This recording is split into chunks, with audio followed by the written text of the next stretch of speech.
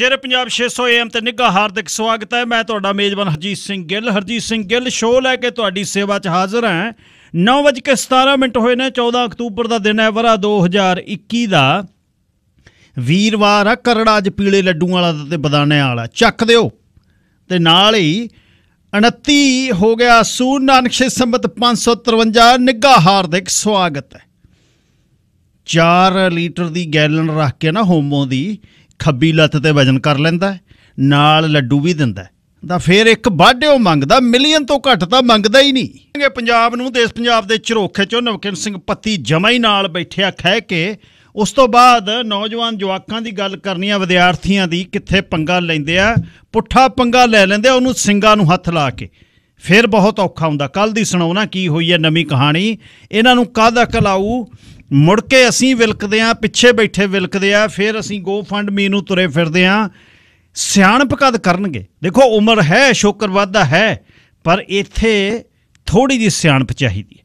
ਉਸ ਤੋਂ ਬਾਅਦ 911 ਜਦ ਤੁਸੀਂ ਕਰਦੇ ਹੋ, ਇੰਡੀਆ ਵਾਲਾ ਫੋਨ ਪਹਿਲਾਂ ਸ਼ੁਰੂ ਸ਼ੁਰੂ ਚ ਬੜੇ ਪੰਗੇ ਪਏ, ਜਦ ਇੰਡੀਆ ਨੂੰ ਮਿਲਾਉਣਾ 01191 ਤੇ 911 ਜਦ ਲੱਗ ਜਾਣਾ, ਉਧਰੋਂ ਫੋਨ ਆ ਜਾਣਾ ਵੀ ਦੱਸੋ ਕੀ ਮੁਸ਼ਕਲ ਹੋ ਗਈ। No no no no no no no we are good we are good ਕਰਕੇ ਕੱਟਿਆ ਜਾਣਾ।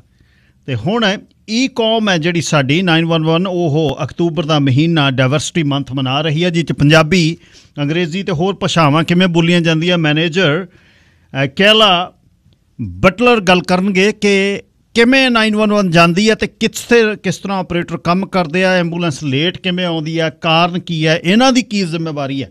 ਸਾਰੀਆਂ ਗੱਲਾਂ ਬਾਤਾਂ ਅੱਜ ਚੱਲਣਗੀਆਂ।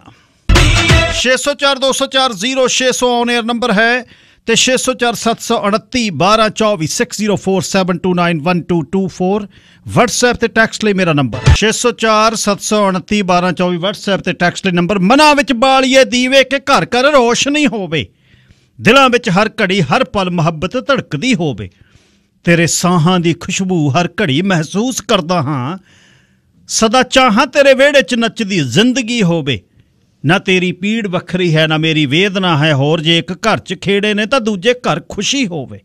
ਸਵੇਰ ਉੱਠ ਕੇ ਹਮੇਸ਼ਾ ਹੀ ਮੈਂ ਬੁੱਲੇ, ਸ਼ਾਹ ਨੂੰ ਇਹ ਆਖਾਂ, ਕਿਸੇ ਦੇ ਬੋਲ ਨਾ ਡੁਸਕਣ, ਨਾ ਸਿੱਲੀ ਅੱਖ ਕੋਈ ਹੋਵੇ। ਸਿੱਲੀ ਅੱਖ ਕੋਈ ਹੋਵੇ। ਪਸ਼ਾਰੀ, ਪੁਜਾਰੀ ਇਸ਼ਕ ਦਾ ਹਾਂ, ਮੈਂ ਤੇ ਮਹਿਕਾਂ ਦਾ ਹਾਂ ਵਣਜ਼ਾਰਾ। ਸਦਾ ਲੋਚਾਂ ਕੇ ਇੱਥੇ ਪਿਆਰ ਦੀ ਵਗਦੀ ਨਦੀ ਹੋਵੇ। ਸਦਾ ਲੋਚਾਂ ਕਿ ਇੱਥੇ ਪਿਆਰ ਦੀ ਵਗਦੀ ਨਦੀ ਹੋਵੇ। ਹਰਦਮ ਸਿੰਘ ਮਾਨ ਲਿਖਦੇ ਨੇ ਬਾਈ ਜੀ। ਬਹਿ ਜਾ ਬਹਿ ਜਾ ਕਰਾਉਂਦਾ ਬਾਈ। ਹੂੰ। 24 ਘੰਟੇ ਸੱਤੇ ਦਿਨ ਤੁਹਾਡੀ ਸੇਵਾ 'ਚ ਹਾਜ਼ਰ ਰਹਿੰਦਾ ਸ਼ੇਰੇ ਪੰਜਾਬ। ਜਿੰਦਾਬਾਦ।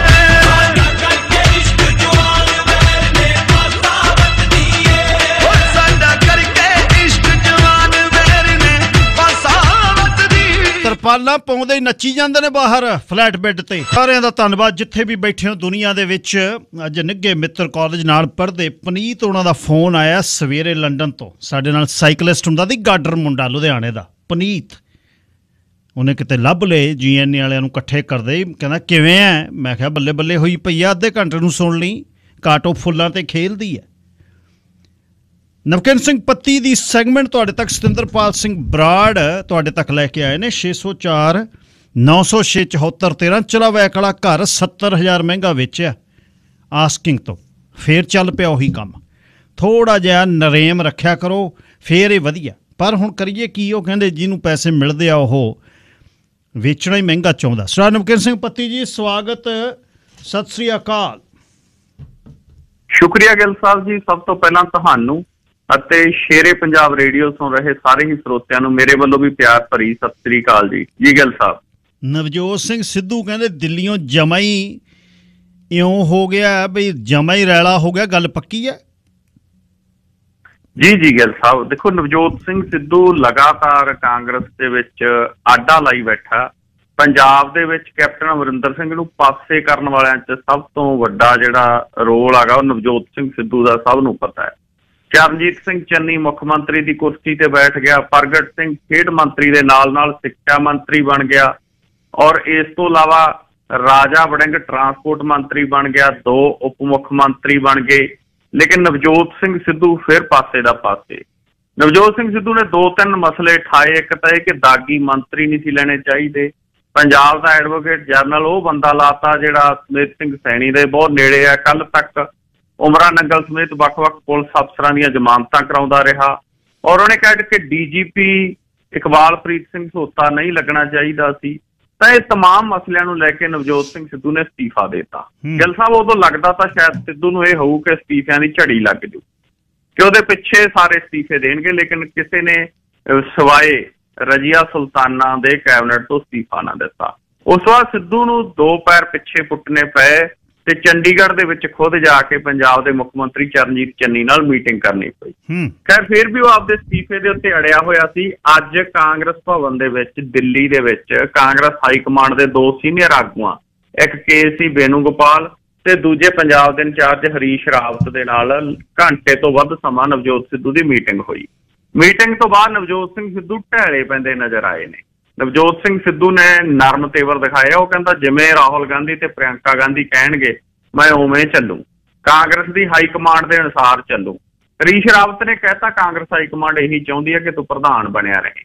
ਸੋ ਲੱਗਦਾ ਹੈ ਨਵਜੋਤ ਸਿੰਘ ਸਿੱਧੂ ਪ੍ਰਧਾਨ ਬਣਿਆ ਰਹੂਗਾ। ਕੁਝ ਗੱਲਾਂ ਨਵਜੋਤ ਸਿੰਘ ਸਿੱਧੂ ਦੀਆਂ ਮੰਨ ਲਈਆਂ ਗਈਆਂ ਨੇ ਤੇ ਕੁਝ ਲੱਗਦਾ ਮੰਨ ਲਈਆਂ ਜਾਣਗੀਆਂ। ਪਰ ਨਵਜੋਤ ਸਿੰਘ ਸਿੱਧੂ ਵੀ ਸ਼ਾਇਦ ਇਹ ਸਮਝ ਗਿਆ ਹੋਣਾ ਕਿ ਸਿਆਸਤ ਦੇ ਵਿੱਚ ਕਿਸੇ ਤਰੀਕੇ ਦੇ ਨਾਲ ਕਿਤੇ ਕਿਤੇ ਸਮਝੌਤੇ ਕਰਕੇ ਚੱਲਣਾ ਪਊਗਾ। ਹਾਲਾਂਕਿ ਕੱਲ ਉਹ ਕਹਿੰਦਾ ਸੀ, ਕੋਈ ਸਮਝੌਤਾ ਨਹੀਂ ਹੋਊਗਾ ਜੀ ਗੱਲ ਸਾਹਿਬ। ਵਿਆਹ ਦੇ ਵਿੱਚ ਮਾਵੇ ਵਾਲੀ ਪੱਗ ਬੰਨ ਕੇ, ਵਿਆਹ ਤੋਂ ਬਾਅਦ ਜੇ ਦੁਬਾਰਾ ਮਾਵੇ ਦੀ ਪੱਗ ਬੰਨ ਕੇ ਦਰਵਾਜ਼ੇ ਬਹਿ ਜੀਏ ਨਾ, ਅਗਲਾ ਕਹਿੰਦਾ ਹਿੱਲ ਗਿਆ। ਚਰਨਜੀਤ ਸਿੰਘ ਚੰਨੀ ਨੂੰ ਸਵਾਦ ਪੈ ਗਿਆ ਸੀਐਮ ਦਾ, ਮੰਗਵਾ ਸਕੂਟਰ ਪਿੰਡ 'ਚ ਲੈ ਲਾ, ਜਦੋਂ ਉਹਦਾ ਮੋੜਨ ਜਾਈਦਾ ਨਾ, ਫਿਰ ਕਹੀਦਾ ਵੀ ਰੱਖੇ ਲਈਏ ਯਾਰ, ਸਕੂਟਰ ਦਾ ਫਾਇਦਾ ਬਹੁਤ ਹੈ। ਚੰਨੀ ਹੁਣ ਸੀਐਮ ਵਾਲੇ ਗੇਅਰ 'ਚ ਹੈ। ਕਦੇ ਕਿਤੇ ਮਿਲਦਾ ਫਿਰਦਾ, ਕਦੇ ਕਿਤੇ ਗਰੀਬਾਂ ਨੂੰ ਜੱਫੀਆਂ ਪਾ, ਜੇ ਪਾ, ਲੁੱਡੀਆਂ ਪਾ ਤੇ ਖਾਸਾ ਕੁਛ ਕਰਦਾ ਫਿਰਦਾ, ਪਰ ਗੁੱਲੀ ਦਣ ਨਹੀਂ ਪੈਣੀ, ਵੋਟਾਂ ਜਿੱਤਣ ਲਈ ਜੱਫੀਆਂ ਦੀ ਨਹੀਂ ਲੋੜ। ਬੰਦਾ ਖੜ ਕੇ ਬੋਲਣਾ ਚਾਹੀਦਾ। ਇਹ ਠੀਕ ਹੈ ਕਿ ਗਰੀਬ ਸਿੱਖਾਂ ਨੂੰ ਪਾਤਸ਼ਾਹੀ ਦਿੱਤੀ ਆ, ਘੁਰ, ਧੁਰ ਦਰਗਾਹੋਂ ਸਾਹਿਬ ਨੇ, ਪਰ ਹੁਣ ਜੇ ਇਉਂ ਲੱਗਦਾ ਵੀ ਮੈਂ ਹੀ ਸਦਾ ਇਸ ਤਰ੍ਹਾਂ ਹੀ ਹੋ ਪੰਜਾਬ 'ਚ ਬਹੁਤ ਕੁਝ ਕਰਨ ਵਾਲਾ, ਹਰ ਇੱਕ ਤੇ ਨਹੀਂ ਹੁੰਦਾ ਇਹ। ਹੁਣ ਕਹਿੰਦੇ ਸਿਸਮਾ ਫਾਰਮ ਟੱਬਰ ਨੂੰ ਲੈ ਕੇ ਜਾ ਵੜਿਆ ਤੇ ਮਠਿਆਈ ਦੇ ਡੱਬੇ ਲੈ ਗਿਆ ਨਾਲ ਚਰਨਜੀਤ ਸਿੰਘ ਚੰਨੀ ਮੁੰਡੇ ਦੇ ਵਿਆਹ ਦੀ ਦਾ ਕੋਠੀ ਝਾੜ ਦੇਣ ਗਿਆ ਕਪਟਨ ਨੂੰ। ਜੀ ਜੀ, ਗਿੱਲ ਸਾਹਿਬ ਇਹਨਾਂ ਕੋਲ ਦਿਨ ਬਹੁਤ ਥੋੜੇ ਸੀ।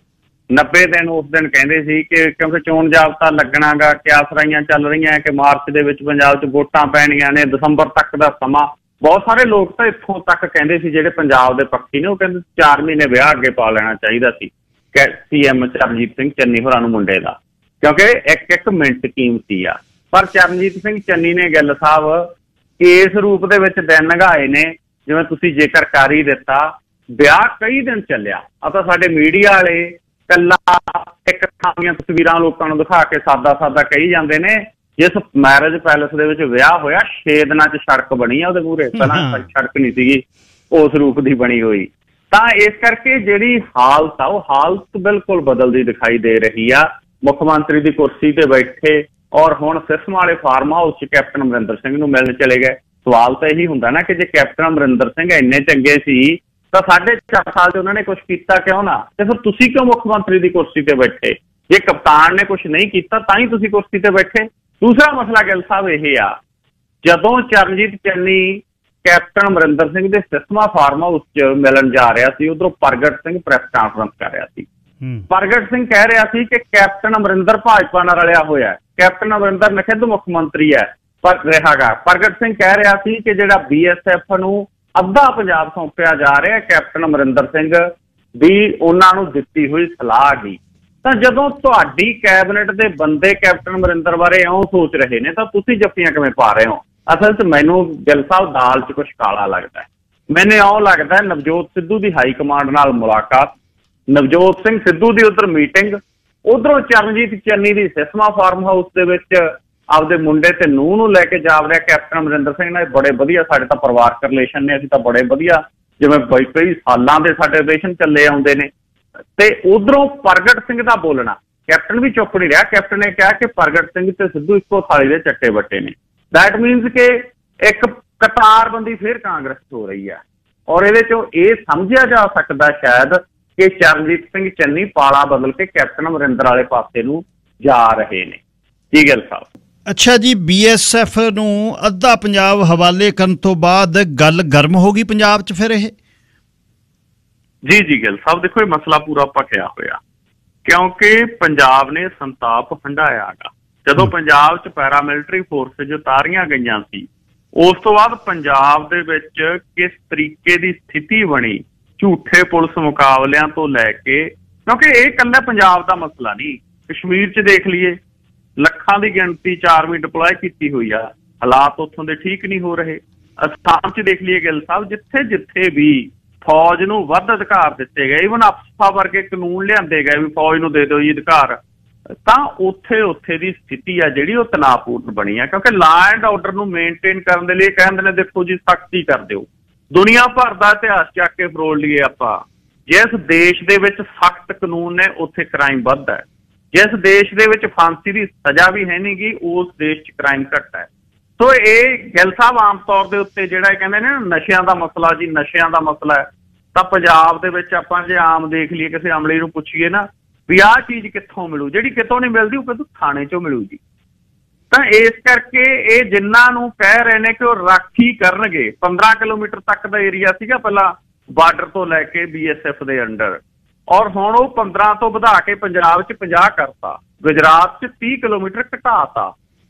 ਇਹ ਇਹ ਉਲਟ ਹੋਇਆ ਗੁਜਰਾਤ ਦੇ ਵਿੱਚ। ਪੱਛਮੀ ਬੰਗਾਲ 'ਚ ਵਧਾਇਆ। ਤਾਂ ਇਹ ਜਿਹੜੀ ਸਥਿਤੀ ਆ, ਪੰਜਾਬ ਤਾਂ ਹੈ ਹੀ ਸਾਡਾ ਬਹੁਤ ਛੋਟਾ। ਪੰਜਾਬ ਦਾ ਗਿੱਲ ਸਾਹਿਬ ਲਗਭਗ 550 ਕਿਲੋਮੀਟਰ ਏਰੀਆ ਬਾਰਡਰ ਨਾਲ ਪੈਂਦਾ ਪੰਜਾਬ ਦਾ ਟੋਟਲ ਜਿਹੜਾ ਉਹ 50000 ਕਿਲੋਮੀਟਰ ਸਕੁਅਰ ਕਿਲੋਮੀਟਰ ਜਿਹੜਾ ਏਰੀਆ ਬਣਦਾ।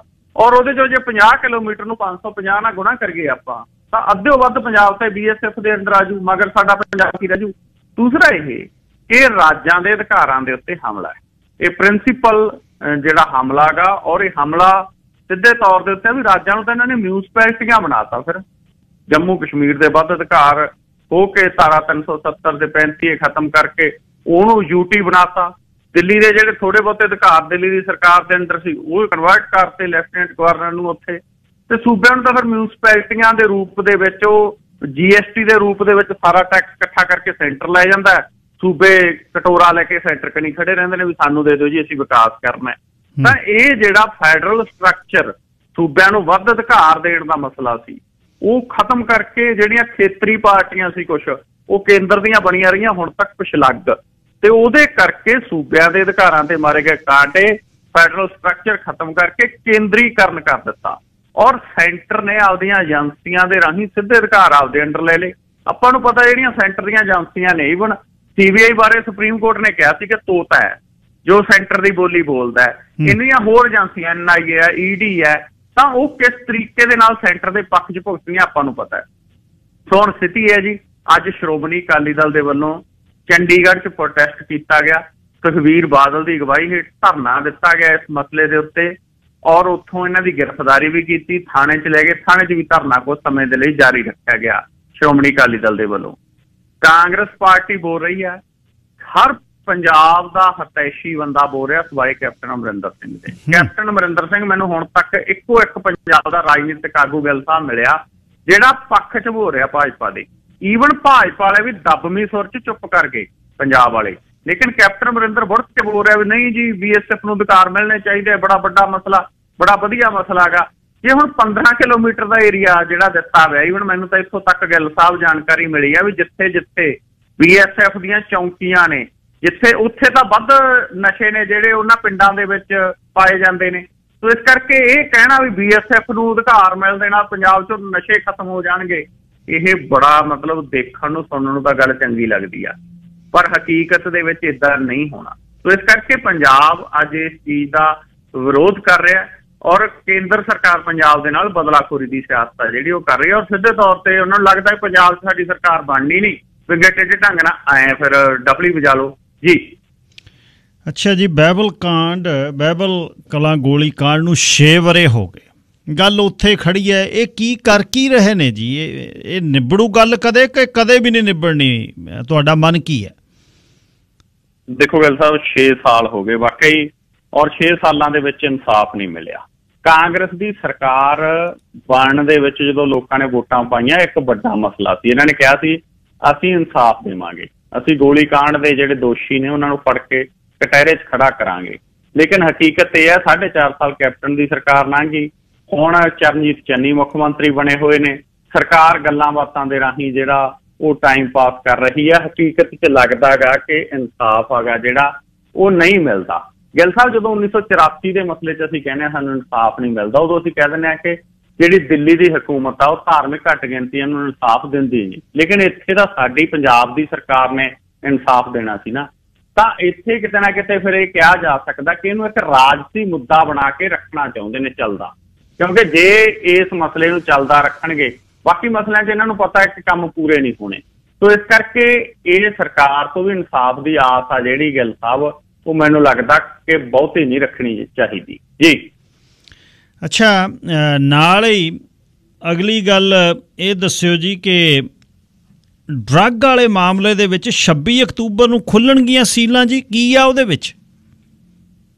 ਜੀ ਜੀ ਗਿੱਲ ਸਾਹਿਬ ਦੇਖੋ ਜਿਹੜਾ ਡਰੱਗਸ ਦਾ ਮਸਲਾ ਹੈਗਾ ਉਹ ਅੱਜ ਅਦਾਲਤ ਦੇ ਵਿੱਚ ਸੁਣਵਾਈ ਦੀ ਰਿਹਾ ਔਰ ਸਰਕਾਰ ਦੇ ਜਿਹੜੇ ਨਵੇਂ ਐਡਵੋਕੇਟ ਜਨਰਲ ਨੇ ਦਿਓਲ ਉਹਨਾਂ ਨੇ ਕਿਹਾ ਕਿ ਪਿਛਲੀ ਸੁਣਵਾਈ ਜਿਹੜੀ ਵੀਰਵਾਰ ਨੂੰ ਹੋਈ ਸੀ ਉਸ ਦੌਰਾਨ ਕੋਰਟ 'ਚ ਉਹਨਾਂ ਨੇ ਧਿਆਨ 'ਚ ਲਿਆਂਦਾ ਸੀ ਕਿ ਪਹਿਲੀਆਂ ਜਿਹੜੀਆਂ ਸੀਲਬੰਦ ਰਿਪੋਰਟਾਂ ਨੇ ਉਹਨਾਂ ਨੂੰ ਦੇਖਣ ਲਈ ਸਾਰਾ ਪੰਜਾਬ ਇੰਤਜ਼ਾਰ ਕਰ ਰਿਹਾ ਹੈ। ਤੇ ਹੁਣ 26 ਅਕਤੂਬਰ ਨੂੰ ਕੋਰਟ ਦੁਬਾਰਾ ਖੁੱਲੂਗੀ ਤਾਂ ਇਸ ਮਾਮਲੇ ਦੀ ਸੁਣਵਾਈ ਕੀਤੀ ਜਾਵੇ ਔਰ ਡੇ ਬਾਏ ਡੇ ਇਸ ਮਸਲੇ ਨੂੰ ਕਵਰ ਕੀਤਾ ਜਾਵੇ। ਪਰ ਗਿੱਲ ਸਾਹਿਬ ਹੁਣ ਕਿਹਦੇ ਤੇ ਯਕੀਨ ਕੀਤਾ ਜਾਵੇ? ਸ਼ਸ਼ੀਕਾਂਤ ਸਭ ਤੋਂ ਵੱਧ ਬੋਲਦਾ ਸੀ ਨਸ਼ਿਆਂ ਦੇ ਮਸਲੇ ਦੇ ਉੱਤੇ। ਔਰ ਸ਼ਸ਼ੀਕਾਂਤ ਜਿਹੜਾ ਡੀਜੀਪੀ ਪੰਜਾਬ ਦਾ ਰਿਹਾ ਉਹਨੇ ਪਿਛਲੀ ਇਲੈਕਸ਼ਨ ਦੇ ਵਿੱਚ ਵੀ ਉਸ ਤੋਂ ਪਹਿਲਾਂ ਵੀ ਕਿਹਾ ਕਿ ਮੇਰੇ ਕੋਲ ਲਿਸਟ ਆ ਜੀ ਮੈਂ ਤੁਹਾਨੂੰ ਦੱਸਦਾ ਉਹ ਤੋਂ ਬੜਾ ਲੋਕਾਂ ਨੂੰ ਲੱਗਦਾ ਇਹ ਬੜਾ ਚੰਗਾ ਬੰਦਾ ਹੈ ਔਰ ਇਹ ਬੜਾ ਕੁਝ ਰੱਖ ਰਿਹਾ। ਲੇਕਿਨ ਅੱਜ ਪੰਜਾਬ ਤੇ ਹਰਿਆਣਾ ਹਾਈ ਕੋਰਟ ਦੇ ਬੜੇ ਸੀਨੀਅਰ ਵਕੀਲ ਨੇ ਨਵਕਰਨ ਸਿੰਘ। ਉਹਨਾਂ ਨੇ ਕਿਹਾ, ਉਹ ਕਹਿੰਦੇ ਕਿ ਡੀਜੀਪੀ ਸ਼ਸ਼ੀਕਾਂਤ ਆ ਜਿਹੜਾ, ਉਹਦਾ ਵਕੀਲ ਅਦਾਲਤ 'ਚ ਕਹਿ ਰਿਹਾ ਕਿ ਰਿਪੋਰਟਾਂ ਨੂੰ ਬਹੁਤੀ ਤਵੱਜੋ ਨਾ ਦਿਓ ਜੀ। ਉਹ ਕਹਿੰਦਾ ਇਹ ਰਾਜਸੀ ਮਸਲਾ ਜੀ। ਤਾਂ ਉਹ ਕਹਿੰਦੇ ਸੀਲਬੰਦ ਲਿਫਾਫੇ ਜਨਤਕ ਕਰਨ ਦਾ ਮਸਲਾ, ਜਦੋਂ ਸ਼ਸ਼ੀ ਕਾਂਤ ਦਾ ਵਕੀਲ ਇਹ ਕਹਿ ਰਿਹਾ ਇਟ ਮੀਨ ਜੋ ਕਹਿੰਦੇ ਸ਼ਸ਼ੀਕਾਂਤ ਕਿਸੇ ਵਿਅਕਤੀ ਨੂੰ ਬਚਾ ਰਿਹਾ ਹੈਗਾ। ਸੋ ਇਹ ਮਸਲਾ ਬੜਾ ਗੱਲ ਸਾਹਿਬ ਚਰਚਾ ਦਾ ਵਿਸ਼ਾ ਬਣੂ ਆਉਣ ਵਾਲੇ ਦਿਨਾਂ ਦੇ ਵਿੱਚ, ਲੇਕਿਨ ਆਸ ਕਰਦੇ ਹਾਂ ਇਹ 26 ਅਕਤੂਬਰ ਕੋ ਬਹੁਤੀ ਦੂਰ ਨਹੀਂ 26 ਅਕਤੂਬਰ ਨੂੰ ਅਹ, ਇਹ ਸੀਲਬੰਦ ਰਿਪੋਰਟ ਆ ਜਿਹੜੀ ਉਹ ਲੋਕਾਂ ਦੇ ਸਾਹਮਣੇ ਜਾਗਰ ਹੋਵੇ। ਔਰ ਇਸ ਮਸਲੇ ਦੇ ਵਿੱਚ ਪੰਜਾਬ ਦੇ ਬਹੁਤੇ ਘਰ ਉਜਾੜੇ ਗਏ ਨਸ਼ਿਆਂ ਨੇ ਤੇ ਲੋਕਾਂ ਨੂੰ ਇਨਸਾਫ ਮਿਲੇ। ਜੀ। ਅਖੀਰ ਦੀ ਖਬਰ ਇਹ ਦਿਓ ਜੀ ਕਿ ਦੁਸਹਿਰੇ ਤੇ ਸੰਯੁਕਤ ਕਿਸਾਨ ਮੋਰਚਾ ਜਿਹੜਾ ਹੈ ਉਹ ਕਹਿੰਦੇ ਵੀ ਅਸੀਂ ਪ੍ਰਧਾਨ ਮੰਤਰੀ ਨਰਿੰਦਰ ਮੋਦੀ ਦੇ ਪੁਤਲੇ ਫੂਕਣੇ ਆ ਜੀ। ਜੀ ਜੀ, ਗਿੱਲ ਸਾਹਿਬ। ਇਹ ਇਹ ਵਿਸ਼ਾ ਬੜਾ ਮਤਲਬ ਚਰਚਾ ਪੂਰਾ ਦਿਨ ਇਹਦੀ ਰਹੀ। ਕਿਉਂਕਿ ਉਧਰੋਂ ਆਰਐਸਐਸ ਵਾਲੇ ਵੀ ਜਿਹੜੇ ਇਸ ਦਿਨ ਪਰੇਡ ਕਰਦੇ ਹੁੰਦੇ ਆ, ਉਹਨਾਂ ਨੇ ਪੰਜਾਬ ਚੋਂ ਕਹਿੰਦੇ ਅਸੀਂ ਪਰੇਡ ਨਹੀਂ ਕਰਨੀ। ਸੋ ਇਹ ਚੰਗੀ ਗੱਲ ਹੈ ਕਿ ਪੰਜਾਬ ਦੇ ਵਿੱਚ ਕਿਸਾਨ ਸੰਘਰਸ਼ ਦੇ ਚੱਲਦਿਆਂ ਉਹਨਾਂ ਨੂੰ ਲੱਗਦਾ ਵੀ ਸਾਡਾ ਘਰਾਓ ਕਰਨਗੇ ਕਿਸਾਨ। ਉਹਨਾਂ ਨੂੰ ਲੱਗਦਾ ਕਿ ਪੰਜਾਬ ਵਾਲੇ ਐਤਕੀ ਕਾਇਮ ਹੋਏ ਫਿਰਦੇ ਨੇ, ਉਹਨਾਂ ਨੇ ਜਿਹੜੀ ਇਹ ਵਰਦੀਆਂ ਪਾ ਕੇ, ਖਾਕੀ ਨੀਕਰਾਂ ਪਾ ਕੇ ਪਰੇਡ ਕਰਨੀ ਹੁੰਦੀ ਉਹ ਤਾਂ ਬੰਦ ਕਰਤੀ। ਦੂਜੇ ਪਾਸੇ ਸੰਯੁਕਤ ਕਿਸਾਨ ਮੋਰਚਾ ਨੇ ਪਿਛਲੇ ਦਿਨੀ ਸੱਦਾ ਦਿੱਤਾ ਸੀ ਕਿ ਦੁਸ਼ਹਿਰੇ ਦੇ ਮੌਕੇ ਪ੍ਰਧਾਨ ਮੰਤਰੀ ਨਰਿੰਦਰ ਮੋਦੀ ਦੇ ਪੁਤਲੇ ਰਾਵਣ ਦੇ ਵਾਂਗ ਜਿਹੜੇ ਉਹ ਫੂਕੇ ਜਾਣ। ਔਰ ਇਹ ਸੱਦੇ ਨੂੰ ਉਹਨਾਂ ਨੇ ਕਿਹਾ ਸੀ ਕਿ ਪੂਰੇ ਦੇਸ਼ 'ਚ ਲਾਗੂ ਕਰੋ। ਪਰ ਰਾਜੇਵਾਲ ਸਾਹਿਬ ਦਾ ਅੱਜ ਸਵੇਰ ਦਾ ਬਿਆਨ ਜਾਰੀ ਹੋ ਰਿਹਾ ਸੀ। ਉਹ ਬਿਆਨ ਪਿਛਲੇ ਦਿਨਾਂ ਤੋਂ ਮੈਂ ਦੇਖਿਆ ਕਿ ਉਹਨਾਂ ਦੇ ਬਹੁਤੇ ਬਿਆਨ ਨਹੀਂ ਆਏ, ਲੇਕਿਨ ਅੱਜ ਉਹ ਬਿਆਨ ਦੇ ਰਹੇ ਸੀ ਕਿ ਨਹੀਂ ਜੀ, ਦੁਸ਼ਹਿਰੇ ਵਾਲੇ ਦਿਨ ਨਹੀਂ ਫੂਕਾਂਗੇ। ਅਗਲੇ ਦਿਨ ਫੂਕਾਂਗੇ। ਉਹ ਕਹਿੰਦੇ ਸੰਯੁਕਤ ਮੋਰਚੇ ਨੇ ਫੈਸਲਾ ਬਦਲਤਾ। ਕਿਉਂਕਿ ਕਹਿੰਦੇ ਕੁਝ ਭਾਰਤੀ ਜਨਤਾ ਪਾਰਟੀ ਵਾਲੇ ਜਾਣਬੁੱਝ ਕੇ ਮਾਹੌਲ ਬਣਾ ਰਹੇ ਨੇ। ਸੋ ਅਸੀਂ ਹਿੰਦੂ ਭਰਾਵਾਂ ਦੀਆਂ ਭਾਵਨਾਵਾਂ ਨੂੰ ਦੇਖਦੇ ਹੋਏ ਇਹ ਪੁਤਲੇ ਆ ਜਿਹੜੇ ਉਹ ਅਗਲੇ ਦਿਨ ਫੂਕਾਂਗੇ ਦੁਸ਼ਹਿਰੇ ਤੋਂ। ਹਾਲਾਂਕਿ ਡਾਕਟਰ ਦਰਸ਼ਨਪਾਲ ਦੀ ਪਿਛਲੇ ਦਿਨੀ ਵਹਿਸ ਵੀ ਹੋਈ ਹੈ ਇਸ ਵਿਸ਼ੇ ਦੇ ਉੱਤੇ ਹਰਜੀਤ ਗਰੇਵਾਲ ਨਾਲ। ਉਹ ਕਹਿੰਦੇ ਕਿ ਅਸੀਂ ਹਿੰਦੂ ਭਰਾਵਾਂ ਦੀਆਂ ਭਾਵਨਾਵਾਂ ਦਾ ਖਿਆਲ ਰੱਖਦੇ ਹਾਂ ਇਸੇ ਕਰਕੇ ਦੁਸ਼ਹਿਰੇ ਵਾਲੇ ਦਿਨ ਫੂਕ ਰਹੇ ਹਾਂ ਨਾ। ਇਸੇ ਕਰਕੇ ਅਸੀਂ ਬਦੀ ਦੇ ਉੱਤੇ ਨੇਕੀ ਦੀ ਜਿੱਤ ਨੂੰ ਜਿਹੜਾ ਉਹ ਦਰਸਾ ਰਹੇ ਹਾਂ ਕਿ ਨਰਿੰਦਰ ਮੋਦੀ ਕਿਸਾਨ ਵਿਰੋਧੀ ਹੈ, ਤਾਂ ਹੁਣ ਗਿੱਲ ਸਾਹਿਬ, ਰਾਜੇਵਾਲ ਸਾਹਿਬ ਕਹਿ ਰਹੇ ਕਿ ਨਹੀਂ 16 ਨੂੰ ਫੂਕਾਂਗੇ। ਪਰ ਸੰਯੁਕਤ ਮੋਰਚੇ ਦਾ ਹੁਣ ਜਿਹੜਾ ਨਵਾਂ ਸ਼ਾਮ ਨੂੰ ਇਸ ਵਿਸ਼ੇ ਦੇ ਉੱਤੇ ਉਹਨਾਂ ਨੇ ਕਿਹਾ ਕਿ ਲੋਕਾਂ 'ਚ ਦਬੰਗ ਪੈਦਾ ਹੋ ਰਿਹਾ ਹੈ। ਇਸ ਕਰਕੇ ਉਹਨਾਂ ਨੇ ਕਿਹਾ, ਜਿਹੜੇ 15 ਨੂੰ ਦੁਸ਼ਹਿਰੇ ਵਾਲੇ ਦਿਨ ਫੂਕ ਸਕਦੇ, ਉਹ ਫੂਕਣ। ਜਿਹੜੇ 16 ਨੂੰ ਫੂਕਣਾ ਚਾਹੁੰਦੇ, ਉਹ 16 ਨੂੰ ਫੂਕ ਲੈਣ। ਸੋ ਦੋਨੇ ਡੇਟਾ ਉਹਨਾਂ ਨੇ ਜਿਹੜੀਆਂ, ਉਹ ਦਿੱਤੀਆਂ ਨੇ। ਜੀ ਗਿੱਲ ਸਾਹਿਬ। ਧੰਨਵਾਦ ਜੀ। ਕੱਲ ਨੂੰ ਮਿਲਦੇ ਆ ਫੇਰ ਸਵਾ ਨੌ ਵਜੇ। ਸ਼ੁਭ ਸ਼ਾਮ। ਸ਼ੁਕਰੀਆ ਗਿੱਲ ਸਾਹਿਬ। ਤੁਹਾਡਾ ਤੇ ਸਾਰੇ ਸਰੋਤਿਆਂ ਦਾ ਵੀ ਬਹੁਤ-ਬਹੁਤ ਧੰਨਵਾਦ। ਸਰ ਨਵਕਿਨ ਸਿੰਘ ਪੱਤੀ ਪੱਤੀ ਸੇਖਵਾਂ ਬਰਨਾਲਿਓਂ ਗੱਲਬਾਤ ਕਰ ਰਹੇ ਸੀ। ਤੁਹਾਡੇ ਤੱਕ ਇਹ ਸੈਗਮੈਂਟ ਲੈ ਕੇ ਆਏ ਨੇ ਸਰਦਾਰ ਸਤਿੰਦਰਪਾਲ ਸਿੰਘ ਬਰਾੜ 6049067413 604906 7413 ਤੇ ਬੜੀ ਖੁਸ਼ੀ ਹੈ ਇਸ ਗੱਲ ਦੀ ਕਿ ਸਰਦਾਰ ਨਵਕਿਨ ਸਿੰਘ ਪੱਤੀ ਦੀ ਗੱਲਬਾਤ ਨੂੰ ਤੁਸੀਂ ਬਹੁਤ ਪਸੰਦ ਕਰਦੇ ਹੋ। ਪਸੰਦ ਇੱਕੋ ਹੀ ਗੱਲ ਹੈ ਕਿ ਜੇ ਬਿਲਕੁਲ ਜੈਵਿਕ ਆਰਗੈਨਿਕ ਬਿਲਕੁਲ ਮਟੀਰੀਅਲ ਤੁਹਾਡੇ ਸਨਮੁਖ ਕੀਤਾ ਜਾਵੇ, ਰਾਹ, ਜਿਵੇਂ ਗੱਲ ਆ, ਉਸ ਤਰ੍ਹਾਂ ਕੀਤੀ ਜਾਵੇ। ਪੱਤਰਕਾਰਾਂ ਦਾ ਮਤਲਬ ਨਹੀਂ ਕਿਸੇ ਨੂੰ ਬਚਾਉਣ ਦਾ, ਪੱਤਰਕਾਰਾਂ ਦਾ ਕੰਮ ਹੈ ਗੱਲਬਾਤ ਸਿੱਧੀ ਕਰਨ ਦਾ। ਧੰਨਵਾਦ। ਅੱਛਾ ਜੀ ਕੱਲ ਕੀ ਗੱਲ ਹੋਈ ਇੱਕ, ਜਿਹੜੀ ਮੈਂ ਤੁਹਾਨੂੰ ਦੱਸਣੀ ਚਾਹੁੰਦਾ ਹਾਂ? ਮੇਪਲ ਰਿਜ ਤੋਂ ਉੱਪਰਲੇ ਬੰਨੇ ਨੂੰ ਲੇਕ ਆ ਇੱਕ ਬਹੁਤ ਵਧੀਆ, ਮੈਂ ਅੱਗੇ ਵੀ ਇੱਕ ਵਾਰ ਤੁਹਾਨੂੰ ਦੱਸਿਆ ਗਰਮੀਆਂ 'ਚ, ਲੇਕ ਐਲੂਏਟ ਉੱਥੇ ਜਦ ਉੱਪਰਲੇ ਬੰਨੇ ਨੂੰ ਜਾਂਦੇ ਆ, ਤਾਂ 골ਡ ਕ੍ਰੀਕ ਫਾਲਸ ਨੇ ਉੱਥੇ। ਸੜਕ ਮੇਪਰ ਰਿਜ ਤੋਂ ਜਾਂਦੀ ਆ ਤੇ 골ਡਨ ਈਅਰ ਪ੍ਰੋਵਿੰਸ਼ੀਅਲ ਪਾਰਕ ਹੈ ਤੇ 골ਡਨ ਈਅਰ ਪਾਰਕਵੇ ਹੈ ਉੱਥੇ ਕੱਲ ਦੋ ਵਿਦਿਆਰਥੀ ਥੱਲੇ ਉਤਰ ਗਏ, ਜਿੱਥੇ ਉਹ ਫਾਲ ਹੈ, ਬਹੁਤ ਵੱਡੀ ਫਾਲ ਹੈ। ਤੇ ਵੱਡੀ ਝਾਲ ਹੈ ਤੇ ਉੱਥੇ ਉਤਰ ਗਏ। ਉਤਰੇ ਕਿਹੜੀ ਗੱਲੋਂ? ਠੰਡ ਤਾਂ ਹੈ, ਨਹਾਉਣਾ ਹੈ, ਤਾਂ ਹੈ ਨਹੀਂ, ਬਹੁਤ ਠੰਡ ਹੈ ਤੇ ਪਾਣੀ ਬਹੁਤ ਤੇਜ਼ ਵਗਦਾ ਮੇਰੇ ਕੋਲ। ਵੀਡੀਓ ਸੱਭਰਵਾਲ ਉਹਨਾਂ ਨੇ ਭੇਜੀ ਹੈ। ਜਦ ਉਤਰ ਗਏ, ਹੁਣ ਸਟੀਪ ਹੈ, ਬਹੁਤ ਜ਼ਿਆਦਾ ਹੈ, ਜਿਹੜੀ ਉੱਥੇ ਚਟਾਨ ਹੈ, ਬਹੁਤ ਜਿਹੜੀ ਹੈ, ਉਹਦੀ ਢਲਾਣ ਹੈ। ਉੱਤਰ ਤਾਂ ਗਏ ਕਿਸਰਦੇ ਕਿਸਰਦੇ ਫਿਰ ਚੜ੍ਹਨਾ ਹੋਵੇ। ਅੱਛਾ, ਉੱਪਰਲੀ ਸੜਕ ਤੋਂ ਘੱਟੋ ਘੱਟ ਉਹ, ਜੇ ਮੈਂ ਕਹਾਂ ਤਾਂ 30 25 30 ਮੀਟਰ ਹੋਣਾ ਹੈ। ਹੁਣ ਚੜ੍ਹਨਾ ਕਿੱਥੇ ਨੂੰ, ਉੱਥੇ ਨੂੰ? ਬੈਠੇ ਨੇ। ਕਿਉਂਕਿ ਪਾਣੀ ਜਿਹੜਾ ਹੈ, ਉਹ ਚਟਾਨ ਤੇ ਡਿੱਗਦਾ ਪੱਥਰ ਤੇ ਤੇ ਪੈਰ ਸਲਿੱਪ ਹੋਣ ਜਾਣ ਥੱਲੇ ਨੂੰ, ਫਿਰ ਵੱਜਣ ਲੇਰਾਂ। ਉਹ ਬਚਾ ਲਓ ਓਏ, ਉਹ ਪੱਟੇ ਗਏ, ਉਹ ਮਰ ਗਏ ਓਏ। ਉੱਪਰ ਕੁਝ ਖੜੇ ਜਿਨ੍ਹਾਂ ਕੋਲ ਕੁਝ ਹੈ ਨਹੀਂ ਸੀ, ਉਹ ਹੱਸਣ। ਉਹ ਕਹਿੰਦੇ, ਚਲੋ ਹੁਣ ਲਓ ਨਜ਼ਾਰੇ।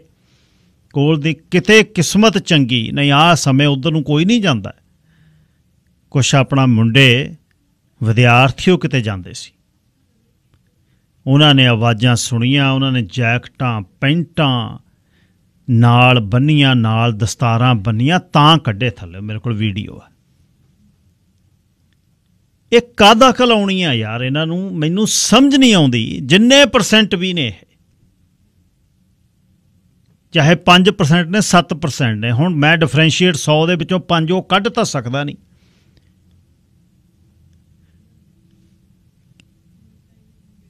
ਮੂਵੀ ਵੇਖਣ ਕੋਈ ਪਰਿ- ਪਰਿਵਾਰ ਨਾਲ ਪੰਜਾਬੀ ਚਲੇ ਜਾਵੇ, ਜੇ ਉਹ 5-7% ਚੋਂ ਕੁਦਰਤੀ ਉਦਣ ਆਏ ਹੋਏ, ਅੱਧ ਚੋਂ ਉੱਠਣਾ ਆਉਂਦਾ ਨਿਕਲਣਾ ਪਊ, ਜਿਹੜੀਆਂ ਗਾਲਾਂ ਅੰਦਰ ਬਖਦੇ ਨੇ, ਜਿਹੜਾ ਬਕਵਾਸ ਕਰਦੇ ਨੇ, ਉਹ 5% ਹੀ ਨੇ, ਮੈਂ 95 ਚੰਗੇ ਕਹਿਣਾ ਪਰ ਜਿਹੜਾ ਕੁਛ ਉਹ 5% ਕਰ ਰਹੇ ਨੇ, ਉਹ ਚੋਂ 95 ਨੂੰ ਬਰੀ ਕਿਵੇਂ ਕਰੋਗੇ ਤੁਸੀਂ?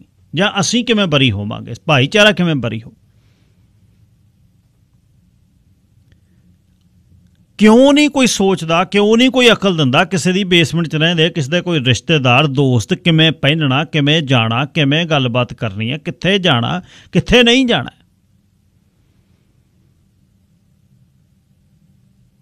ਝੱਗੇ ਜੇ ਬਾਹਰ ਕੱਢ ਲੈਣੇ ਨੇ, ਲੋਅਰ ਥੱਲੇ ਪਾਏ ਹੋਏ ਨੇ, ਪੈਰਾਂ 'ਚ ਚੱਪਲੀਆਂ ਨੇ, ਤੇ ਤੁਸੀਂ ਤੁਰੇ ਫਿਰਦੇ ਹੋ ਸਟੋਰਾਂ 'ਚ? ਸਿਰਾਂ ਤੇ 90ਾਂ ਦੇ ਦਸ- ਦਸਤਾਰਾਂ ਨੇ ਜਾਂ ਪਰਨੇ ਨੇ। ਕੀ ਅਸੀਂ ਕਰਨ ਕੀ ਲੱਗੇ ਹੋਏ ਆ ਸ਼ਹਿਰ? ਇੱਥੇ ਵਸੂ ਕੌਣ ਤੁਹਾਡੇ ਸ਼ਹਿਰ 'ਚ ਜਿਹੜੇ ਹਾਲ ਅਸੀਂ ਚੱਲਿਆ ਹੋਇਆ ਸਾਡਾ ਹਾਲ ਚੱਲਿਆ ਹੋਇਆ? ਪਾਰਟੀ ਦੀਆਂ ਕਿਸੇ ਨੇ ਫੋਟੋਆਂ ਭੇਜੀਆਂ ਪਾਰਟੀ ਦੇ ਉੱਪਰ ਕੰਮ ਵਾਲੇ ਕੱਪੜਿਆਂ ਦੇ ਨਾਲ। ਸਟੀਲ ਟੋਪ ਪਾ ਕੇ। ਤੁਸੀਂ ਲੇਟ ਹੋ ਗਏ ਤੁਸੀਂ ਘੱਟੋ ਘੱਟ ਘਰੇ ਜਾਓ ਨਹਾਵੋ ਧੋਵੋ ਯਾਰ ਕੱਪੜਾ ਤਾਂ ਪਾਓ ਕੋਈ ਸੂਟ ਇਹ ਤਾਂ ਨਹੀਂ ਪਾਉਣਾ ਪੈਂਟ ਸ਼ਰਟ ਨਾਲ ਆ ਜਾਓ। ਸ਼ੂ ਤਾਂ ਘੱਟੋ ਘੱਟ ਲਿਬੜੀਆਂ ਪੈਂਟਾਂ ਮੱਡ ਦੇ ਨਾਲ ਤੁਸੀਂ ਅ, ਬੈਂਕਟ ਹਾਲ 'ਚ ਤੁਰੇ ਫਿਰਦੇ ਹੋ। ਹਾਂ ਹੁਣ ਕੱਲ ਦੋ, ਇਹ ਮਤਲਬ ਇੰਨਾ ਤੇਜ਼ ਪਾਣੀ ਹੈ ਜਿੱਥੋਂ ਉਹ ਧੂਹੇ ਨੇ। ਮਰ ਜਣੇ ਸੀ ਉਹ ਉੱਥੋਂ ਪੈਰ ਸਲਿੱਪ ਇਵੈਂਚੁਅਲੀ ਮਤਲਬ ਕਿਤਵੇਂ ਖੜੋਗੇ, ਕਿਵੇਂ ਤੁਹਾਡਾ ਹੱਥੇ ਨਹੀਂ ਪੈਂਦਾ ਉੱਥੇ ਕਿਤੇ? ਢਲਾਣ ਇੰਨੀ ਸੀ ਉਹ ਪੱਥਰ ਦੀ, ਉੱਥੇ ਚਲੇ ਗਏ। ਉੱਪਰੋਂ ਤਾਂ ਘਸਰਦੇ ਚਲੇ ਗਏ। ਚੜਨਾ ਕਿਵੇਂ ਉੱਪਰ ਨੂੰ? ਘਸਰ ਕੇ ਕਿਵੇਂ ਚੜੋਗੇ ਪੈਰ ਤਿਲਕਣ, ਗੋਡੇ ਛਿੱਲੇ ਗਏ। ਥੱਲੇ ਪਾਣੀ 4 ਫੁੱਟ ਤੇ ਪਾਣੀ ਹੈ ਉਹਦੇ ਵਿੱਚ ਇੰਨਾ ਤੇਜ਼ ਪਾਣੀ ਹੈ ਜੇ ਉਹਦੇ ਵਿੱਚ ਸਲਿੱਪ ਹੋ ਜਾਂਦੇ, ਤਾਂ ਬਸ ਗਈ ਸੀ, ਕਰੀ ਚੱਲੋ, ਭੇਜੀ ਚੱਲੋ, ਸਰੀਰ ਭੇਜਣਾ ਜੀ ਗੋ ਫੰਡ ਮੀ ਕਰੋ ਜੀ। 20 20 ਵਰਿਆਂ ਦੇ ਬਲੂਰੋਂ ਤੁਹਾਡੇ ਜਵਾਕ ਮਾਪਿਆਂ ਨੇ ਜ਼ਿੰਦਗੀ ਗਾਲ ਕੇ ਤੁਹਾਨੂੰ ਪੈਸੇ ਭੇਜੇ ਨੇ, ਤੁਹਾਨੂੰ ਕਿਸੇ ਨੇ ਕੀਲੇ ਗਹਿਣੇ ਕਰਤੇ, ਕਦੇ ਮਾਂ ਪਿਓ ਦੀਆਂ ਅੱਖਾਂ 'ਚ ਤਾਂ ਅੱਖਾਂ ਪਾ ਕੇ ਦੇਖੋ ਕਿਉਂ ਸੰਗ ਲਾਹੀ ਹੈ ਯਾਰ? ਇਹ ਡਿਫਰੈਂਸੀਏਸ਼ਨ ਕਰਨਾ ਬਹੁਤ ਔਖਾ ਪਰਸੈਂਟ ਕਿੰਨੇ ਨੇ? ਜਿਵੇਂ ਇਹ ਨਹੀਂ ਹੈ ਕਮਿਊਨਿਟੀ ਉਹ ਜਦ ਗਲਤ ਕੰਮ ਕਰਦੀ ਹੈ, ਇਹਦੇ ਚ ਪੀਆਰ ਸਟੂਡੈਂਟ ਸਿਟੀਜ਼ਨ ਇਹਦਾ ਨਹੀਂ ਮਤਲਬ ਹੈ। ਇਹੀ ਗੱਲ ਆਪਾਂ ਕਮਿਊਨਿਟੀ ਲਈ ਵੀ ਕਰਦੇ ਜਿਹੜੇ ਪਹਿਲਾਂ ਆ ਕੇ ਵਸੇ ਨੇ। ਕੋਈ 20 ਸਾਲ ਪਹਿਲਾਂ ਆ ਗਿਆ, ਕੋਈ 20 ਮਹੀਨੇ ਪਹਿਲਾਂ ਆ ਗਿਆ, ਫ਼ਰਕ ਨਹੀਂ ਹੈ। ਭਾਈਚਾਰਾ ਭਾਈਚਾਰਾ ਪਰ ਉਸ ਸਮੇਂ ਜੇ 5% ਤੁਰੇ ਜਾਂਦੇ ਬਾਬੇ, ਝਾੜੀਆਂ 'ਚ ਖੜ ਕੇ ਆਪਣਾ ਕੰਮ ਕਰਦੇ ਨੇ ਜਾਂ ਬੱਸ ਸਟੈਂਡ ਤੇ ਬੈਠੇ ਸੋਟੀ ਨਾਲ ਬੱਸ ਨੂੰ ਨਗਾਉਣ ਨੂੰ ਕਹਿੰਦੇ ਨੇ, ਜਾਂ ਕਿਸੇ ਗੁਰਦੁਆਰੇ ਦੇ ਲੰਗਰ 'ਚ ਖੂੰਜੇ 'ਚ ਪੈ ਕੇ ਉੱਚੀਆਂ ਉੱਚੀਆਂ ਗੱਲਾਂ ਕਰਦੇ ਨੇ ਬਹਿ ਕੇ, ਇਹ ਉਹਨਾਂ ਨੂੰ ਵੀ ਕਹਿੰਦੇ ਆ। ਭਈ ਤੁਸੀਂ ਤੁਰੇ ਫਿਰਦੇ ਹੋ ਇੱਕ ਸ਼ਾਨ ਲੈ ਕੇ। ਕੱਪੜਾ ਲੱਤਾ ਸਹੀ ਪਾਓ, ਜਵਾਕਾਂ ਦਾ। ਹੁਣ ਆ, ਕੱਲ ਮੈਂ ਉਹ ਪੋਸਟ ਕਰੂੰਗਾ ਫੇਸਬੁੱਕ ਤੇ, ਚੱਲ ਗਏ ਸੀ ਦੋ ਉਹ। ਭੋਰਾ ਭਰਨੇ ਬਲੂੰਗੜੇ। ਤੇ ਗਏ ਕਿੱਥੇ ਨੇ ਦੇਖ ਤੂੰ? ਗਏ ਕਿੱਥੇ ਨੇ? ਔਰ ਠੰਡ ਦਾ ਸਮਾਂ ਕਿੱਥੇ ਬੜੇ ਕਿੱਥੇ ਨੇ ਜਾ ਕੇ? ਕੀ ਕਰਨ ਲਈ? ਸੈਲਫੀ ਪਿੰਡ ਨੂੰ ਭੇਜਣੀ ਆ। ਬਸ ਹੋਰ ਕਿੱਥੇ ਭੇਜਣੀ ਆ ਜਾਂ ਇੱਥੇ ਪਾਉਣੀਆਂ ਵੀ ਦੇਖੋ, ਇੰਸਟਾ ਤੇ ਪਾਉਣੀਆਂ ਪਤਾ ਨਹੀਂ ਕਾਹਦੇ ਤੇ ਪਾਉਂਦੇ ਨੇ। ਮੁੜ ਕੇ ਜਾਂ ਸਰੀਰ ਵੀ ਨਹੀਂ ਲੱਭਣੇ, ਉੱਥੇ ਫਿਰ ਵਕਤ ਜੀ 911 ਜੀ ਤੇ ਕਰੋ ਜੀ ਤੇ ਆਹ ਕਰੋ ਜੀ, ਹੁਣ ਸਰੀਰ ਭੇਜਣਾ 50000 ਡਾਲਰ ਚਾਹੀਦਾ ਜੀ। ਕਿੰਨੇ ਕ ਦਵੋਗੇ ਅਕਲ ਕਦ ਆਊਗੀ? ਕਦ ਸਿੱਖਾਂਗੇ ਇਸ ਦੇਸ਼ ਦੇ ਹਾਣ ਦੇ? ਕਦ ਹੋਵਾਂਗੇ? ਬਹੁਤ ਵਾਰ ਕਿਹਾ ਵੀ ਤੁਸੀਂ ਇੱਕ ਰਿਪਰੈਜ਼ੈਂਟੇਸ਼ਨ ਹੈ ਤੁਹਾਡੀ, ਇੱਕ ਤੁਸੀਂ ਬਣਿਆ ਬਣਾਇਆ ਭਾਈਚਾਰਾ ਚੱਕੀ ਫਿਰਦੇ ਹੋ ਨਾਲ। ਥੋੜੀ ਬਹੁਤੀ ਅਸੀਂ ਅਕਲ ਦਾ ਕੰਮ ਕਰੀਏ। ਥੋੜਾ ਬਹੁਤਾ ਅਕਲ ਦਾ ਕੰਮ ਕਰੀਏ। ਦੇਖੋ ਕੁਦਰਤ ਰੱਬ ਦੀ, ਉਹ ਕੁਦਰਤੀ ਮੁੰਡੇ ਆਪਣੇ ਉੱਥੇ ਚਲੇ ਗਏ, ਉਹ ਵੀ ਵਿਦਿਆਰਥੀ ਨੇ।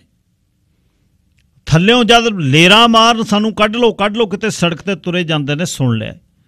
ਜਾਂ ਚਲੇ ਗਏ ਉੱਥੇ ਬੈਨ ਖੜਾਈ ਉਹਨਾਂ ਨੇ, ਦਸਤਾਰਾਂ ਬੰਨੀਆਂ ਤੇ ਆਪਸ ਵਿੱਚ ਜੋੜ ਕੇ ਤੇ ਪਜਾਮੇ ਤੱਕ ਜੋੜ ਕੇ, ਸ਼ਰਟਾਂ ਜੋੜ ਕੇ ਫਿਰ ਅੰਦਰੋਂ ਕੱਢੇ। ਗੋਡੇ ਛਿੱਲ ਗਏ ਕੂਣੀਆਂ ਛਿੱਲੀਆਂ ਹੋਈਆਂ। ਪਤਾ ਨਹੀਂ ਬਈ, ਅਸੀਂ ਕਿੱਧਰ ਨੂੰ ਜਾਵਾਂਗੇ?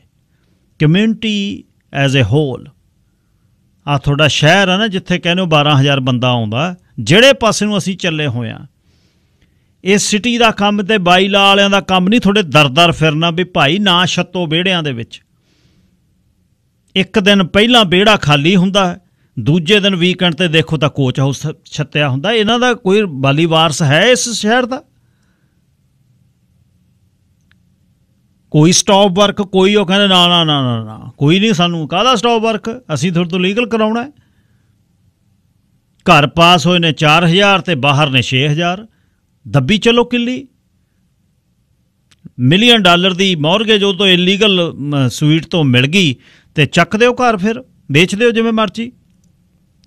ਦੋ ਦੋ ਘਰਾਂ ਦੇ ਵਿੱਚ, ਦੋ ਦੋ ਬਾਹਰ ਵਿਹੜੇ 'ਚ ਛੱਤ ਦਿਓ। ਹੁਣ ਕਿੱਥੇ ਫਿਰਨਾ ਬਾਈਲਾ ਵਾਲਿਆਂ ਨੇ? ਕੁਝ ਸਾਡੀ ਜ਼ਿੰਮੇਵਾਰੀ ਹੈ। ਕਿਹੜੇ ਪਾਸੇ ਨੂੰ ਅਸੀਂ ਚੱਲੇ ਹੋਏ ਆ ਬਹੁਤ ਔਖਾ ਹੈ ਇਹ। ਜੇ ਗਵਾਂਢੀ ਦੱਸ ਦਵੇ, ਉਹ ਕਹਿੰਦਾ ਗਵਾਂਢੀ ਨਾਲ ਫਿਰ ਦੁਸ਼ਮਣੀ ਆ ਜੀ, ਇਹਨੇ ਗਵਾਂਢੀ ਨੇ ਸਾਡੀ ਕੰਪਲੇਂਟ ਕਰਤੀ ਤੇ ਤੁਸੀਂ ਕੰਮ ਕਿਹੜੇ ਕਰਨ ਲੱਗੇ ਹੋਏ ਹੋ? ਮੁੜ ਕੇ ਉਹਨਾਂ ਦੀਆਂ ਕਾਰਾਂ ਕਿੱਥੇ ਖੜਾਉਂਗੇ ਜਿਹੜੇ ਆਉਣੇ ਨੇ ਦੋ ਟੱਬਰ? ਦੋ ਪਹਿਲਾਂ ਨੇ 10 ਕਾਰਾਂ ਹੋ ਗਈਆਂ ਡਰਾਈਵੇਜ ਤੁਸੀਂ ਬਣ ਨਹੀਂ ਦੇਣੀਆਂ ਤੇ ਲੋਕਾਂ ਦੇ ਦਰਾਂ ਮੂਰੇ ਖਾਣਗੇ ਤੇ ਉੱਥੇ ਜੁੱਤੀ ਖੜਕੂ ਫਿਰ ਆਉਣ ਵਾਲੇ ਦਿਨਾਂ 'ਚ। ਆਹੀ ਕੁਝ ਹੋਣਾ ਕੋਈ ਧਿਆਨ ਨਹੀਂ ਦੇ ਰਿਹਾ। ਸਭ ਆਪਣੇ ਚੱਕਰ 'ਚ ਫਿਰਦੇ ਵੀ ਵੋਟਾਂ ਆ ਗਈਆਂ। ਅਸੀਂ ਕਾਹਨੂੰ ਇਹੋ ਜਿਹਾ ਕੋ ਕਹਿਣਾ? ਅਗਲੇ ਸਾਲ ਵੋਟਾਂ ਨੇ। ਕੀ ਕਰੋਗੇ ਇਹੋ ਜਿਹੀਆਂ ਵੋਟਾਂ ਨੂੰ? ਜਾਂ ਸ਼ਹਿਰ ਦੀ ਗੱਲ ਇਹੋ ਜੀ ਚੱਲ ਪਵੇ ਤਾਂ ਕਿੱਧਰ ਨੂੰ ਜਾਊ ਕਹਾਣੀ? ਥੋੜੀ ਬਹੁਤੀ ਬੇਨਤੀ ਹੈ, ਸਾਂਭ ਲਓ ਆਪਣੇ ਆਪ ਨੂੰ ਥੋੜਾ ਬਹੁਤਾ, ਇੱਜ਼ਤ ਨਾਲ ਰਹਿ ਲਈਏ ਇਸ ਦੇਸ਼ 'ਚ। ਧੰਨਵਾਦ ਜੀ। ਅੱਜ ਤੁਹਾਡੇ ਨਾਲ ਗੱਲਬਾਤ ਮੈਂ ਕਰਨੀ ਹੈ, ਜਿਹੜੀ 911 ਕਾਲ ਕਰਦੇ ਆ ਅਸੀਂ। ਇਹ ਜਿਹੜੀ ਆਰਗੇਨਾਈਜੇਸ਼ਨ ਆ ਕੌਮ, ਇਹਦੇ ਵਿੱਚ ਕੰਮ ਕਿਸ ਤਰ੍ਹਾਂ ਹੁੰਦਾ ਹੈ? 911 ਕਾਲ ਜਾਂ ਤੁਸੀਂ ਕਰਦੇ ਹੋ ਤਾਂ ਉੱਥੇ ਅੱਗੇ ਜਿਹੜੀ ਲਾਈਨ ਆਫ ਐਕਸ਼ਨ ਕੀ ਹੈ, ਉਸ ਦੇ ਵਿੱਚ ਕਿਹੜੀਆਂ-ਕਿਹੜੀਆਂ ਭਾਸ਼ਾਵਾਂ ਬੋਲੀਆਂ ਜਾਂਦੀਆਂ ਹੈ?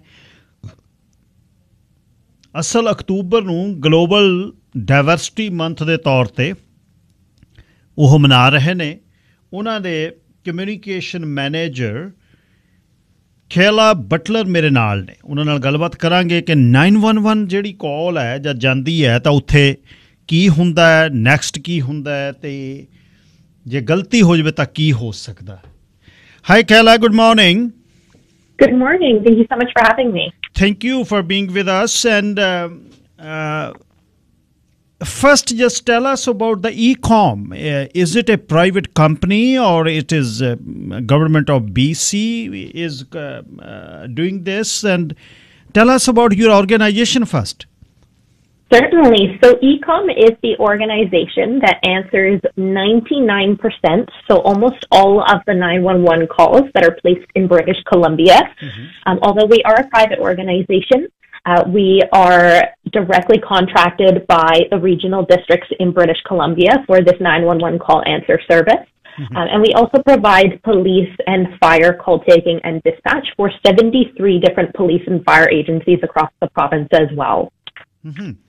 So uh, there is a um, command center uh, based in Vancouver. So you're getting calls from all over BC there. That's correct. Our, our primary location is based in Vancouver, like you mentioned, and we take 911 calls at the center from all across the province. Okay. So uh, once we call, I know it's very stressful job. It's not simple. Uh, once first we call nine one one, and the call uh, goes there. And what happened next then? Sure. So if if you are ever in an emergency situation and you have to call 911, the first thing that you can expect is the person will ask you 911, do you need police, fire, or ambulance? Okay. If for whatever reason you don't know what agency you need, that call taker can help you figure it out. Um, and then we go ahead and we will transfer that call to the agency that you need. So if you're in Vancouver and you need the police, we'll transfer that over to the Vancouver police. Okay. If you're sick or if you're hurt and you need an ambulance, we make sure to transfer that call over to the BC Emergency Health Services. Um, and they help out with ambulance call taking and dispatching. So once we call you, you transfer us to concerned authority, whether it is ma- uh, ambulance or fire or police in in specific uh, um, area wherever we are. So your your job is only transferring our calls uh, to them.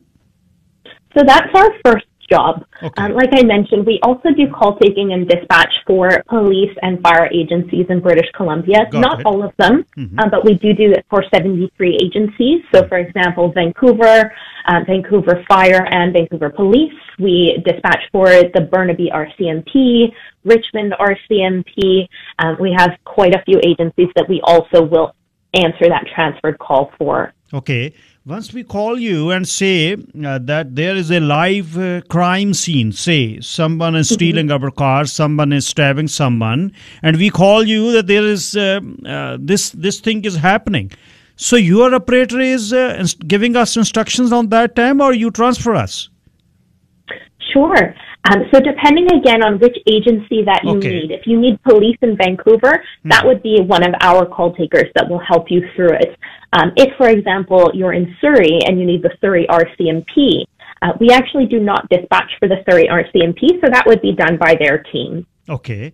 So uh, about your operators, uh, what type of training they have? Sure. So we have very extensive training in house. Um, that is an ecom um, specialty training. They undergo it for upwards of up to nine months. Okay. uh, where they learn, you know, geography. They know they learn the, the different geography in British Columbia.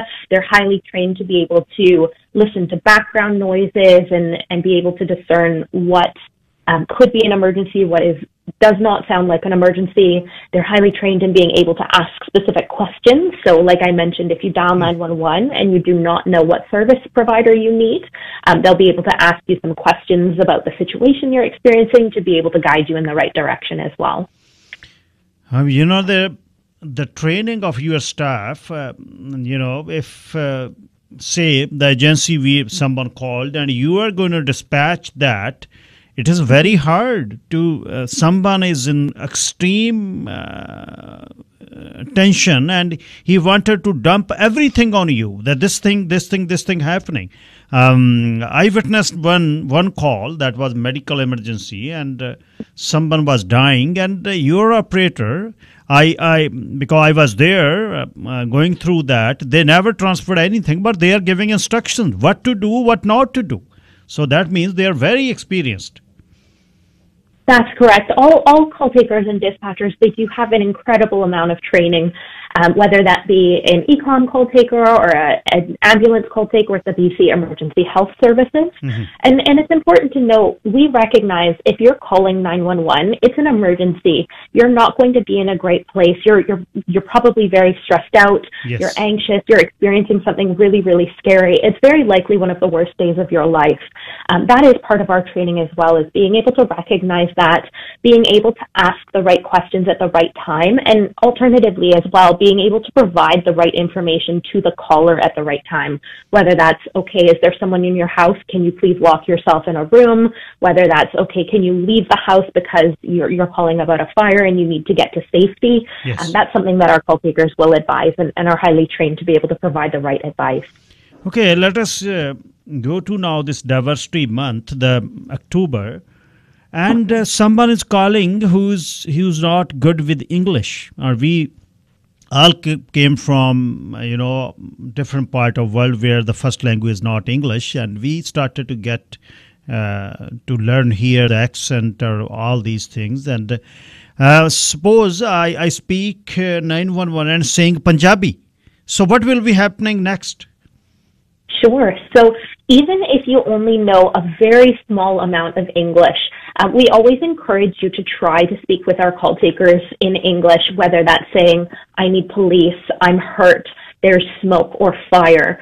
Uh, but if you are not comfortable speaking in English at all, you're exactly correct. We do have interpreter services available 24 hours a day, Okay. seven days a week. So if you call in and you know, if you're able to say police, that's very helpful because we can complete that first transfer. Yes. But if you do call in and, and right away you're saying, I need help in Punjabi, I need help in Hindi, I need help in Farsi, um, Mandarin, French, we are able to pull an interpreter on the line uh, and they can act as, as that kind of liaison between the caller and the call taker to make sure that we are getting the information that we need and that the caller is getting the information that they need.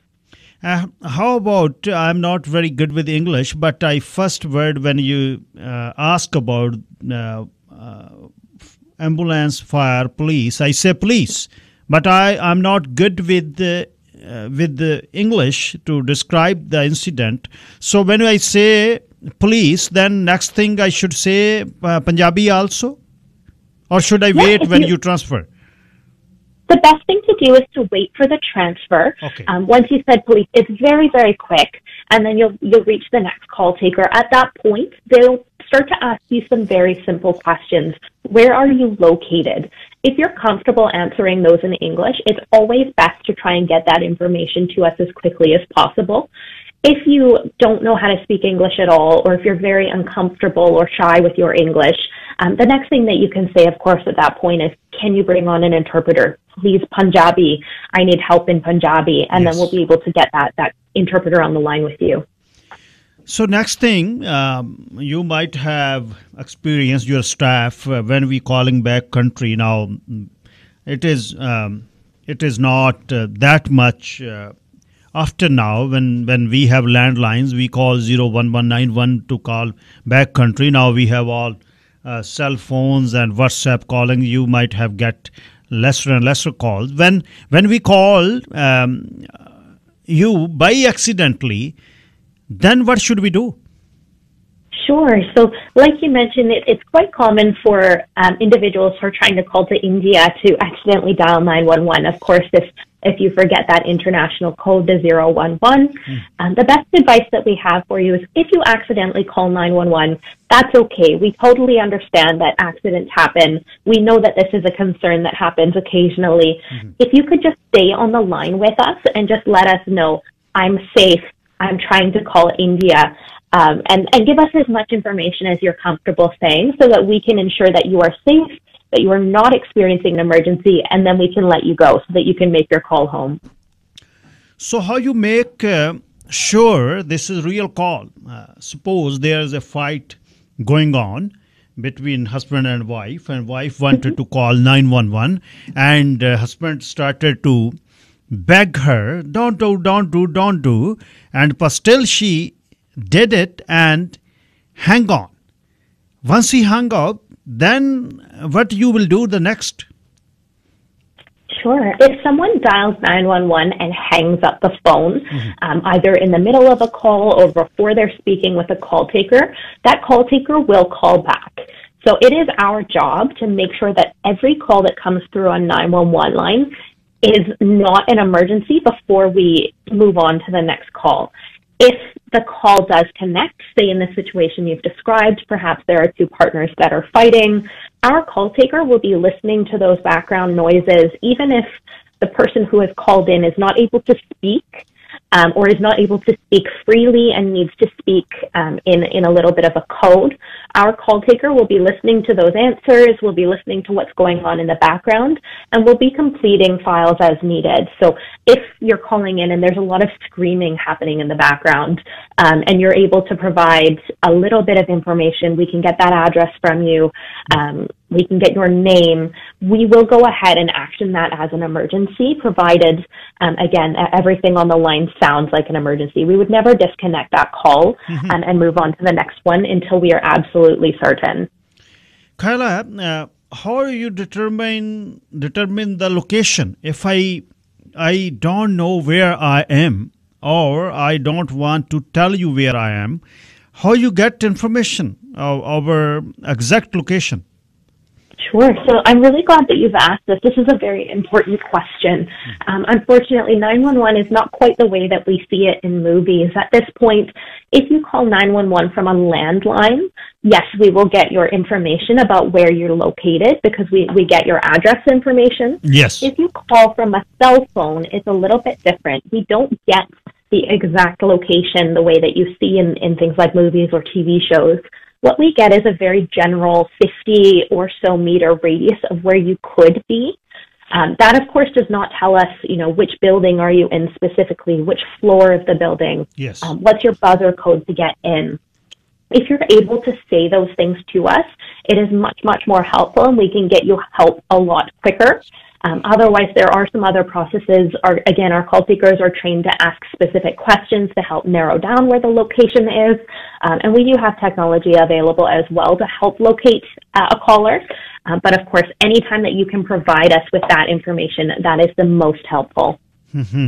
So, just like uh, Surrey RCMP, they have non-emergency num- number 604-599-0502 and there's 911 for emergency. So, uh, how we uh, analyze that this is emergency or this is not?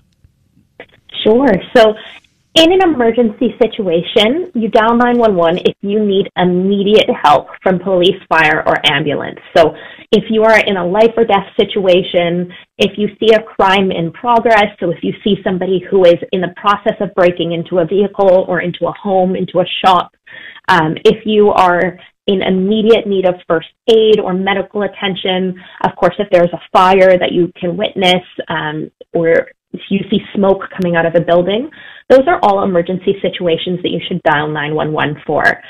When you want to use the police non emergency lines, that's for a situation that is certainly requires police, but maybe not urgently. It doesn't need it right now. So perhaps if you wake up in the morning, unfortunately you find that your car was broken into overnight. You don't know when it was broken into, you don't know who broke into it, but you know that you need to make a police report. That would be a really appropriate use of the police non-emergency line. Um, and like you said, uh, those those lines are available for all police agencies. You can find the numbers for your local city on nonemergency.ca. That will have all of the numbers for the whole province. Nowadays, uh, we are going through a drastic situation when we call 911 for ambulance. Ambulance doesn't show up for hours. Um, I had, uh, I described it on my show a few days back. Uh, one truck driver slipped uh, under under Alex Fraser, and his main bone, hip bone, was fractured, and he was there for two and a half hours. So why that is going on? I don't know whether you can answer or not. Why why this ambulance is taking long? Sure. Unfortunately, we actually are not able to speak to the Okay. ambulance service. Again, that is another organization. mhm. Um, it is important to note, though, that we have been experiencing some delays in being able to transfer calls over to the ambulance service. I'm sure you've seen it reported in the media. I do want to say that it's very important if you're calling 911 at any point, if you hear an automated recording, say if there are delays transferring, um, if there are delays reaching 911, please don't hang up the phone if you hear that automated recording. Stay on the line. A call taker will be with you as soon as possible, and we will make sure that you get that help that you need. So, um, Kayla, I tried uh, to ask whatever I have in mind. Anything uh, you would like to add in closing? You know, I think the most important thing um, that we've covered really is even if you only know a little bit of English, it's really important to call 911 right away if you need it. You know, seconds count in an emergency, so please don't wait for a friend or a family member to call. Make sure that if you are in an emergency situation, dial 911 right away, and we will do everything that we can to get you that help that you need. Kayla, thank you so much for your time and uh, looking forward again in, in near future. Thank you. Thank you so much for having me. Thank you. Kayla Butler ਗੱਲਬਾਤ ਕਰ ਰਹੇ ਸੀ, Kayla Butler communication manager ਨੇ ਇਹ ਈ ਕਾਮ ਇੱਕ private company ਆ, ਜਿਹੜੀ 911 ਤੁਹਾਡੀਆਂ ਕਾਲਸ ਜਿਨ੍ਹਾਂ ਕੋਲ ਪਹਿਲਾਂ ਜਾਂਦੀਆਂ ਨੇ, ਸਭ ਤੋਂ ਪਹਿਲਾਂ। ਅੱਛਾ 911 ਆਪਣੇ 911 ਦੀ ਜਿਹੜਾ ਕੋਈ ਤਜਰਬਾ ਹੋਇਆ, ਸਾਂਝਾ ਕਰੋ। 604 204 0600 ਜਿਹੜੀ ਗੱਲ ਕੈਲਾ ਬਟਲਰ ਨਾਲ ਹੋਈ ਆ, ਉਹ ਇਹ ਹੋਈ ਹੈ ਜਿੱਥੇ ਸਾਡੀ 911 ਦੀ ਕਾਲ ਜਾਂਦੀ ਹੈ, ਉਹ ਡਿਸਪੈਚਰ ਨੇ। ਜਦੋਂ ਕਹਿੰਦਾ 911 ਦੱਸਿਓ ਕਿੱਥੇ ਕਾਲ ਡਾਇਰੈਕਟ ਕਰਾਂ ਇੰਗਲਿਸ਼, ਜਦੋਂ ਕਹਿੰਦਾ ਵੀ ਕਿੱਥੇ, ਪੁਲਿਸ, ਫਾਇਰ ਐਂਬੂਲੈਂਸ। ਅੰਗਰੇਜ਼ੀ ਦੇ ਘੱਟ ਵੀ ਆਉਂਦੀ ਹੈ, ਜਿਹੜੀ ਅਕਸਰ ਆਪਾਂ ਨੂੰ ਆਉਂਦੀ ਹੈ, ਜਿਹ 'ਚ ਕੋਈ ਹੀਣਤਾ ਨਹੀਂ ਚਾਹੀਦੀ। ਮੈਂ ਅੱਗੇ ਵੀ ਤੁਹਾਨੂੰ ਬਹੁਤ ਵਾਰ ਕਿਹਾ, ਕੋਈ ਬੰਦੇ ਦਾ ਕੱਦ ਨਹੀਂ ਵਧਾ ਦਿੰਦੀ, ਉਹ ਕੋਈ ਅੰਗਰੇਜ਼ੀ ਜਾਣਦਾ ਫਰਾਂਸੀਸੀ ਜਾਣਦਾ। ਜੇ ਬੰਦੇ ਨੂੰ ਚਿੱਗਤ ਆਉਂਦੀ ਹੈ ਤੇ ਉਹ ਅੰਗਰੇਜ਼ੀ ਜਿੰਨੀ ਮਰਜ਼ੀ ਬੋਲੇ, ਉਹਦਾ ਕੋਈ ਭਾਅ ਨਹੀਂ। ਸਿੱਧੀ ਗੱਲ ਕਰੋ, ਚਾਹੇ ਉਹ ਪੰਜਾਬੀ ਚ ਕਰ ਲਓ, ਹਿੰਦੀ ਚ ਕਰ ਲਓ, ਫਾਰਸੀ ਚ ਕਰ ਲਓ, ਜਿਹ ਚ ਮਰਜ਼ੀ ਕਰ ਲਓ, ਆਪਣੀ ਮਾਂ ਭਾਸ਼ਾ ਦਾ ਮਾਣ ਕਰੋ। ਜੇ ਘੱਟ ਵੀ ਆਉਂਦੀ ਆ, ਉਹਨੂੰ ਕਹਿ ਦਿਓ ਵੀ ਇੰਗਲਿਸ਼ ਪੰਜਾਬੀ ਸੌਰੀ ਜਦੋਂ ਇੰਗਲਿਸ਼ ਚ ਕਹਿੰਦਾ, ਜੇ ਨਹੀਂ ਆਉਂਦੀ, ਉਹਨੂੰ ਕਹਿ ਕਹਿ ਦਿਓ ਵੀ ਪੰਜਾਬੀ ਪੰਜਾਬੀ ਉਹ ਕਹਿ ਦਿਓ ਬਸ। ਉਹ ਸਮਝ ਜਾਂਦੇ ਨੇ ਕਿਉਂ ਟ੍ਰੇਨਡ ਨੇ ਉਹ। ਇਸ ਗੱਲ ਤੇ ਤੇ ਉਹਨਾਂ ਨੂੰ ਜਦੇ ਉਹਨਾਂ ਦੇ ਦਿਮਾਗ 'ਚ ਆ ਜਾਣੀ ਹੈ ਗੱਲ ਵੀ ਸਾਨੂੰ ਇਹ ਕੀ ਕਹਿੰਦੇ ਆ। ਐਮਰਜੈਂਸੀ ਤੇ ਨਾਨ ਐਮਰਜੈਂਸੀ ਦੇਖੋ ਤਜਰਬੇ ਸਾਰਿਆਂ ਦੇ ਹੋਏ ਹੋਏ ਨੇ। ਬਈ ਆਉਂਦੇ ਨਹੀਂ। ਪਿਛਲੇ ਦਿਨ ਮੈਂ ਤੁਹਾਨੂੰ ਸੁਣਾਈ ਸੀ ਗੱਲ। ਜਸਵਿੰਦਰ ਸਿੰਘ ਬਰਾੜ ਉਹਨੇ 2.5 ਘੰਟੇ ਇੱਥੇ ਬੈਠੇ ਰਹੇ ਨੇ। ਚੂਲਾ ਟੁੱਟ ਗਿਆ ਮੇਨ ਪੈਰ ਸਲਿੱਪ ਹੋ ਗਿਆ। 2.5 ਘੰਟੇ ਐਂਬੂਲੈਂਸ ਨਹੀਂ ਆਈ। ਤੇ ਇਹਦੇ ਖਾਤਰ ਬਹੁਤ ਆਪਾਂ ਪੱਠ ਝੋਕਦੇ ਆ ਵੀ ਦੇਖੋ ਜੀ, ਉੱਥੇ ਸਾਰਾ ਕੁਝ ਫ੍ਰੀ ਹੈ। ਫ੍ਰੀ ਫਰੂ ਵਾਲੀਆਂ ਗੱਲਾਂ ਮੁੱਕ ਗਈਆਂ। ਅੱਛਾ, ਉਹਦਾ ਕਾਰਨ ਕੋਈ ਵੀ ਹੋਵੇ, ਇਹ ਤਾਂ ਖੈਰ ਹੁਣ ਕੋਸ਼ਿਸ਼ ਕਰਾਂਗੇ ਐਂਬੂਲੈਂਸ ਵਾਲਿਆਂ ਨੂੰ ਲਿਆਉਣ ਦੀ ਵੀ ਰੌਲਾ ਕੀ ਹੈ, ਯੂਨੀਅਨ ਦਾ ਰੌਲਾ ਕਿਹਦਾ ਰੌਲਾ, ਡਰਾਈਵਰ ਹੈ ਨਹੀਂ, ਬੈਠਿਆਂ ਨੂੰ ਕਿੰਨੀ ਤਨਖਾਹ ਹੈ, ਜਾਂ 911 ਆਉਂਦੀ ਹੈ, ਜਦ ਕਿੰਨੀ ਤਨਖਾਹ ਹੈ। ਤੇ, ਪਰ ਸਾਨੂੰ ਜ਼ਰੂਰ ਇਹ ਪਤਾ ਹੋਣਾ ਚਾਹੀਦਾ ਵੀ ਐਮਰਜੈਂਸੀ ਕੀ ਹੈ ਤੇ ਨਾਨ ਐਮਰਜੈਂਸੀ ਕੀ ਹੈ। 911 ਕਦ ਕਰਨਾ ਤੇ ਲੋਕਲ, ਹੁਣ ਕਾਰਨ ਇਹ ਆ ਵੀ ਲੋਕਲ ਪੁਲਿਸ ਦੇ, ਲੋਕਲ ਐਂਬੂਲੈਂਸ ਦੇ, ਲੋਕਲ ਫਾਇਰ ਫਾਇਰ ਤੇ ਐਂਬੂਲੈਂਸ ਤਾਂ 911 ਤੇ ਹੀ ਜਾਣੀ ਹੈ। ਪੁਲਿਸ ਵਾ ਇੱਕ ਦੀ ਕਈ ਵਾਰ ਇੱਕ ਨਾਨ ਐਮਰਜੈਂਸੀ ਨੰਬਰ ਹੈ ਜਿਹੜਾ ਜਦੇ ਹੀ ਚਾਹੀਦੀ ਆ ਪੁਲਿਸ ਜਾਂ ਨਹੀਂ ਚਾਹੀਦੀ, ਜਾਂ ਕੋਈ ਚੀਜ਼ ਰਿਪੋਰਟ ਕਰਨੀ ਹੁਣ ਸਰ ਯਾਰ ਆਰਸੀਐਮਪੀ ਦਾ ਨਾਨ ਐਮਰਜੈਂਸੀ ਨੰਬਰ ਵੀ ਹੈ। ਤੇ ਉੱਥੇ ਤੁਸੀਂ ਉਹਨੂੰ ਕਾਲ ਕਰਨਾ ਹੈ। ਤੇ ਇਹ ਬੇਸਿਕਲੀ ਬਹੁਤ ਵਾਰ ਇਹ ਹੁੰਦਾ ਕਿ ਅੱਗੇ ਜਦ ਲੈਂਡਲਾਈਨ ਤੋਂ 011911 ਵਾਲੀ ਕਾਲ ਸੀ ਜਿਹੜੀ, ਜਦ ਇੰਡੀਆ ਨੂੰ ਕਰਨਾ 01191 ਲਾ ਕੇ ਗਾਂ ਹੁਣ ਮੰਨ ਲਓ ਬਈ ਖੰਨੇ ਦਾ ਨੰਬਰ ਹੈ, ਲੁਧਿਆਣੇ ਦਾ ਨੰਬਰ ਆ, ਉਹ 161 ਹੈ, ਉਹ 1628 ਹੈ, ਉਹ ਇੱਕ ਫੇਰ ਨਾਲ ਲੱਗਣਾ 011911 ਹੋ ਗਿਆ ਤੇ 011 ਲਾਉਣਾ ਭੁੱਲ ਗਏ ਤੇ 911 ਕਰ ਲਿਆ, ਫਿਰ ਉਹਨੇ ਗਾਂ ਨਹੀਂ ਜਾਣਾ। ਉਹਨੇ ਤਾਂ ਸਿੱਧਾ ਐਮਰਜੈਂਸੀ ਨੂੰ ਜਾਣਾ। ਹੁਣ ਤਾਂ ਚਲੋ ਸੌਖ ਹੋ ਗਈ। ਹੁਣ ਤਾਂ ਬੀਬੀਆਂ ਵੀ, ਮਾਵਾਂ ਵੀ ਆਪਣੀਆਂ ਵੀਡੀਓ ਕਾਲ ਇਹ ਕਰਦੀਆਂ। ਨਾਲੇ ਘਰੇ ਕਹਿੰਦੀਆਂ ਵੀ ਦ- ਘੁਮਾ ਮਾੜੀ ਜਿਹਾ ਫੋਨ ਮੈਨੂੰ ਦਿਖਾ ਘਰ ਮੇਰਾ। ਸੌਖਾ ਹੋ ਗਿਆ। ਤੇ WhatsApp ਦੀ ਕਾਲ ਹੋ ਗਈ, ਸਾਰੀ ਕਾਲ ਹੋ ਗਈ। ਉਹਦੇ 'ਚ ਫਾਇਦਾ ਤਾਂ ਬਹੁਤ ਹੋ ਗਿਆ। ਹੁਣ ਬਹੁਤ ਘੱਟ ਜਾਂਦੀਆਂ ਨੇ ਕਾਲਸ ਉਹ ਜੀਆਂ ਉਹਨਾਂ ਨੂੰ। ਤੇ ਪਰ ਫੇਰ ਵੀ ਜੇ ਗਲਤ ਨਾਲ ਵੀ ਡਾਇਲ ਗਲਤੀ ਨਾਲ ਹੋ ਜਵੇ, ਕੱਟੋ ਨਾ ਫੋਨ। ਗੱਲ ਕਰ ਲਓ। ਜਿਵੇਂ ਆਪਾਂ ਜਦ ਕਿਤੇ ਮੈਸੇਜ ਤੇ ਚਲੇ ਜਾਵੇ, ਗੱਲ ਜਾਗਲੇ ਨੇ ਗ੍ਰੀਟਿੰਗ ਬੋਲਤੀ ਤਾਂ ਆਪਾਂ ਉਹ ਚ ਭਰ ਦਿੰਨੇ ਆ ਮਸ਼ੀਨ ਬੋਲਦੀ ਹੈ ਗੜਿਚ ਬੰਦ। ਜਾਂ ਕਈ ਵਾਰ ਮੈਸੇਜ ਭਰਿਆ ਜਾਂਦਾ ਹੈ। ਉਥੇ ਕਹਿ ਦਿੰਨੇ ਆਪਾਂ, ਉਹ ਇਹਨਾਂ ਨੇ, ਮਲੰਗਾ ਨੇ ਕੀ ਫੋਨ ਚੱਕਣਾ ਹੈ, ਸਾਰੀ ਰਿਕਾਰਡਿੰਗ ਹੋ ਜਾਂਦੀ ਹੈ। ਬਹੁਤ ਇਹ ਇਸ ਤਰ੍ਹਾਂ ਬੜੇ ਫਸਦੇ ਆ ਬੰਦੇ। ਸੋ ਇਹ ਖਿਆਲ ਰੱਖਣਾ ਕਿ ਗ੍ਰੀਟਿੰਗਸ ਤੇ ਜਾਣ ਤੋਂ ਪਹਿਲਾਂ ਮੈਸੇਜ ਛਡਾਉਣ ਤੋਂ ਪਹਿਲਾਂ ਜਾਂ ਤਾਂ ਫੋਨ ਕੱਟ ਦਿਓ, ਜੇ ਉਧਰ ਨੂੰ ਗੱਲ ਚਲੇਗੀ ਗੱਲ ਜਾਂ ਤਾਂ ਬੋਲੋ ਨਾ, ਜੇ ਬੋਲਣਾ ਪਹਿਲਾਂ ਤਾਂ ਮੈਸੇਜ ਛੱਡਣਾ ਬਹੁਤ ਜ਼ਰੂਰੀ ਹੈ ਜਦ ਮੈਸੇਜ ਤੇ ਚਲੇਗੀ ਗੱਲ, ਦੱਸ ਦਿਓ, ਮੈਂ ਫਲਾਣਾ ਬੋਲਦਾ, ਇੰਨੇ ਵਜੇ ਫੋਨ ਕੀਤਾ ਬਾਈ ਜੀ, ਫੋਨ ਕਰਿਓ ਮੈਨੂੰ ਵਾਪਸ। ਬਸ ਮੈਸੇਜ ਤਾਂ ਘਟ ਗਏ ਹੁਣ ਬਹੁਤ, ਹੁਣ ਨਹੀਂ ਕੋਈ ਗ੍ਰੀਟਿੰਗ ਛੱਡਦਾ ਬਿਜ਼ਨਸ ਵਾਲੇ ਛੱਡਦੇ ਨੇ, ਉਹ ਤਾਂ ਅਗਲਾ ਕਹਿੰਦਾ, ਫੋਨ ਨਹੀਂ ਚੱਕਿਆ, ਚੱਕ WhatsApp ਤੇ ਰਿਕਾਰਡਿੰਗ ਦੱਬ ਕੇ ਮਾਈਕ ਜਦੇ, ਆ ਬਾਈ, ਫੋਨ ਕਰੀ। ਠੱਕ। ਹੁਣ ਤਾਂ ਅਲੱਗ ਹੋ ਗਈ ਗੱਲ। ਐਨੀਵੇਜ਼ ਤੇ 911 ਕਾਲਸ ਦਾ ਤਜਰਬਾ ਤੁਹਾਡਾ। ਕੋਈ ਉਹ ਦੱਸਿਓ। ਸਟਨ ਵੈਸਟ ਕੋਸਟ ਰਿਐਲਿਟੀ ਦੇ ਸੰਦੀਪ ਗਰੇਵਾਲ ਉਹਨਾਂ ਆਇਆ ਨੇ ਜਿਹੜੇ ਬੜੇ ਤਜਰਬੇਕਾਰ ਰੀਅਲਟਰ ਨੇ ਐਬਸਫੋਰਡ ਮਿਸ਼ਨ ਤੇ ਚਿਲਾਵੈਕ ਦੇ ਵਿੱਚ ਪਿਛਲੇ 10 ਵਰਿਆਂ ਤੋਂ ਉਹਨਾਂ ਦੀ ਇੱਕ ਨਵੀਂ ਲਿਸਟਿੰਗ ਆਈ ਹੈ 3265 ਛੀਮ drive Abbotsford 7000 square foot lot ਆ 4 ਬੈੱਡਰੂਮ ਤੇ 2 ਬਾਥਰੂਮ ਦਾ ਘਰ ਹੈ। ਰੋਟਰੀ ਸਟੇਡੀਅਮ ਦੇ ਨਾਲ 999000 ਦਾ। 604807 8060 ਤੇ ਅੱਜ ਗੱਲ ਕਰਿਓ 6048078060 ਐਬਸਫੋਰਡ ਦੇ ਵਿੱਚ ਰੋਟਰੀ ਸਟੇਡੀਅਮ ਦੇ ਨਾਲ ਘਰ ਬਕਾਊ ਆ 999000 ਦਾ। 7000 ਸਕੁਅਰ ਫੁੱਟ ਲਾਟ ਆ 6048078060 ਸਟਨ ਬੈਸਟ ਕੋਸਟ ਰਿਐਲਿਟੀ ਦੇ ਸੰਦੀਪ ਗਰੇਵਾਲ ਉੱਗੇ। ਰੀਅਲਟਰ ਨੇ ਜੀ। ਸ਼ਾਹ ਗੁਰਮੀਤ ਸਿੰਘ ਜੀ ਲਾਈਨ ਨੰਬਰ 1 ਸਤਿ ਸ਼੍ਰੀ ਅਕਾਲ ਬਾਈ ਜੀ। ਸਤਿ ਸ਼੍ਰੀ ਅਕਾਲ ਜੀ। ਭਾਈ ਜੀ ਅਹ 911 ਦਾ ਤਜਰਬਾ ਤਾਂ ਇੰਨਾ ਜ਼ਿਆਦਾ ਨਹੀਂ ਹੋਇਆ ਕਦੇ। ਹਨਾ ਕਿਉਂਕਿ ਪ੍ਰਮਾਤਮਾ ਸੁੱਖ ਰੱਖੇ ਹਨਾ। ਬਿਲਕੁਲ ਠੀਕ। ਪਰ ਮੈਨੂੰ ਮੈਨੂੰ ਇਸ ਇਸ ਗੱਲ ਦੀ ਮੈਨੂੰ ਇੱਕ ਚੀਜ਼ ਨਹੀਂ ਸਮਝ ਆਈ ਵੀ ਜਿਹੜਾ ਉਹ ਦੂਜੀਆਂ ਵੀ ਕੰਪਨੀਆਂ ਜਿੱਦਾਂ ਹੁਣ ਆਪਾਂ ਵਰਕਸ ਏਬੀਸੀ ਨੂੰ ਫੋਨ ਕਰਦੇ ਆ ਜਾਂ ਕਿਤੇ ਵੀ ਕਰਦੇ ਉਹ ਸਾਰਿਆਂ ਦਾ ਹੀ ਆਹੀ ਹਾਲ ਹੈ ਜੀ। ਹੂੰ। ਠੀਕ ਹੈ ਜੀ? ਇਹ ਮੈਂ ਹੋ ਸਕਦਾ ਆਊਟ ਆਫ ਕੰਸਰਨਡ ਗੱਲ ਹੋਵੇ।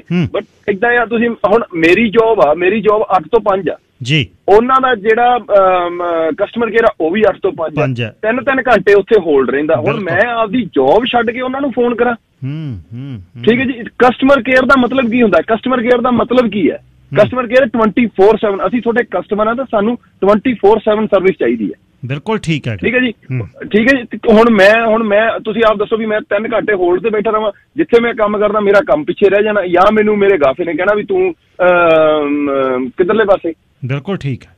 ਠੀਕ ਹੈ ਜੀ। ਇੱਕ ਇੱਕ ਚੀਜ਼ ਹੋਰ ਹੈ ਜੇ ਜਦੋਂ ਦਾ ਕੋਵਿਡ ਤੋਂ ਘਰੋਂ ਕੰਮ ਚੱਲਣ ਲੱਗ ਪਿਆ ਹੂੰ ਹੂੰ। ਘਰੋਂ ਜਦੋਂ ਘਰੋਂ ਕਾਲ ਸੈਂਟਰ ਚਲੇ ਗਏ ਘਰੋਂ ਲੈਪਟਾਪ ਲੈ ਕੇ ਬੈਠੇ ਪਿੱਛੇ ਬੱਚੇ ਰੋਲਾ ਪਾਈ ਜਾਂਦੇ ਆ ਜੀ। ਠੀਕ ਹੈ ਜੀ ਆਵਾਜ਼ ਆਵਾਜ਼ ਗੂੰਜੀ ਜਾਂਦੀ ਹੈ ਉਹਨਾਂ ਦਾ ਕੁਝ ਕੁਝ ਨਹੀਂ ਸਮਝ ਆਉਂਦਾ ਚਾਰ ਚਾਰ ਵਾਰੀ ਫੋਨ ਕਰਨਾ ਪੈਂਦਾ। ਇਹ ਟੋਟਲੀ ਬਿਲਕੁਲ ਗੜਬੜ ਹੋਈ ਪਈ ਹੈ ਕਹਾਣੀ। ਪਿੱਛੇ ਰੋਲਾ ਪਈ ਜਾਂਦਾ ਜੀ। ਉਹ ਆਵਾਜ਼ਾਂ ਗੂੰਜੀ ਜਾਂਦੀਆਂ ਨਾ ਕੋਈ ਅਗਲੇ ਦੀ ਸਮਝ ਆਉਂਦੀ ਹੈ। ਕੱਟ ਕੇ ਫਿਰ ਦੁਬਾਰਾ ਕਰੋ। ਇੱਕ ਗੱਲ ਚਾਰ ਚਾਰ ਵਾਰੀ ਪੁੱਛੋ ਤਿੰਨ ਘੰਟੇ ਬਾਅਦ ਫੋਨ ਲੱਗਦਾ। ਇਹ ਸਾਰੀ ਹਰੇਕ ਸਰਵਿਸ ਦਾ ਕਸਟਮਰ ਕੇਅਰ ਦਾ ਹਾਲ ਹੈ ਜੀ। ਬਿਲਕੁਲ ਬਾਈ ਜੀ ਥੈਂਕ ਯੂ ਥੈਂਕ ਯੂ ਅੱਛਾ ਇਹ ਗੱਲ ਗੁਸਰਾ ਗੁਰਮੀਤ ਸਿੰਘ ਉਹਨਾਂ ਦੀ ਨੈਕਸਟ ਲੈਵਲ ਤੇ ਆਪਾਂ ਇਹਨੂੰ ਲੈ ਕੇ ਚੱਲੀਏ। ਵਾਕਈ ਸਾਰਾ ਮੰਦਾ ਤੁਸੀਂ ਸੈੱਲ ਫੋਨ ਕੈਰੀਅਰ ਤੇ ਫੋਨ ਕਰ ਲਓ। ਉਹ ਕਹਿੰਦੇ ਬੰਦ ਕਰਤਾ ਅਸੀਂ ਤਾਂ। ਸਭ ਵਰਚੁਅਲੀ ਗੱਲ ਹੋ ਰਹੀ ਹੈ, ਪਤਾ ਨਹੀਂ ਕੌਣ ਕੌਣ ਮੂਹਰੇ ਬੋਲ ਰਿਹਾ ਹੈ।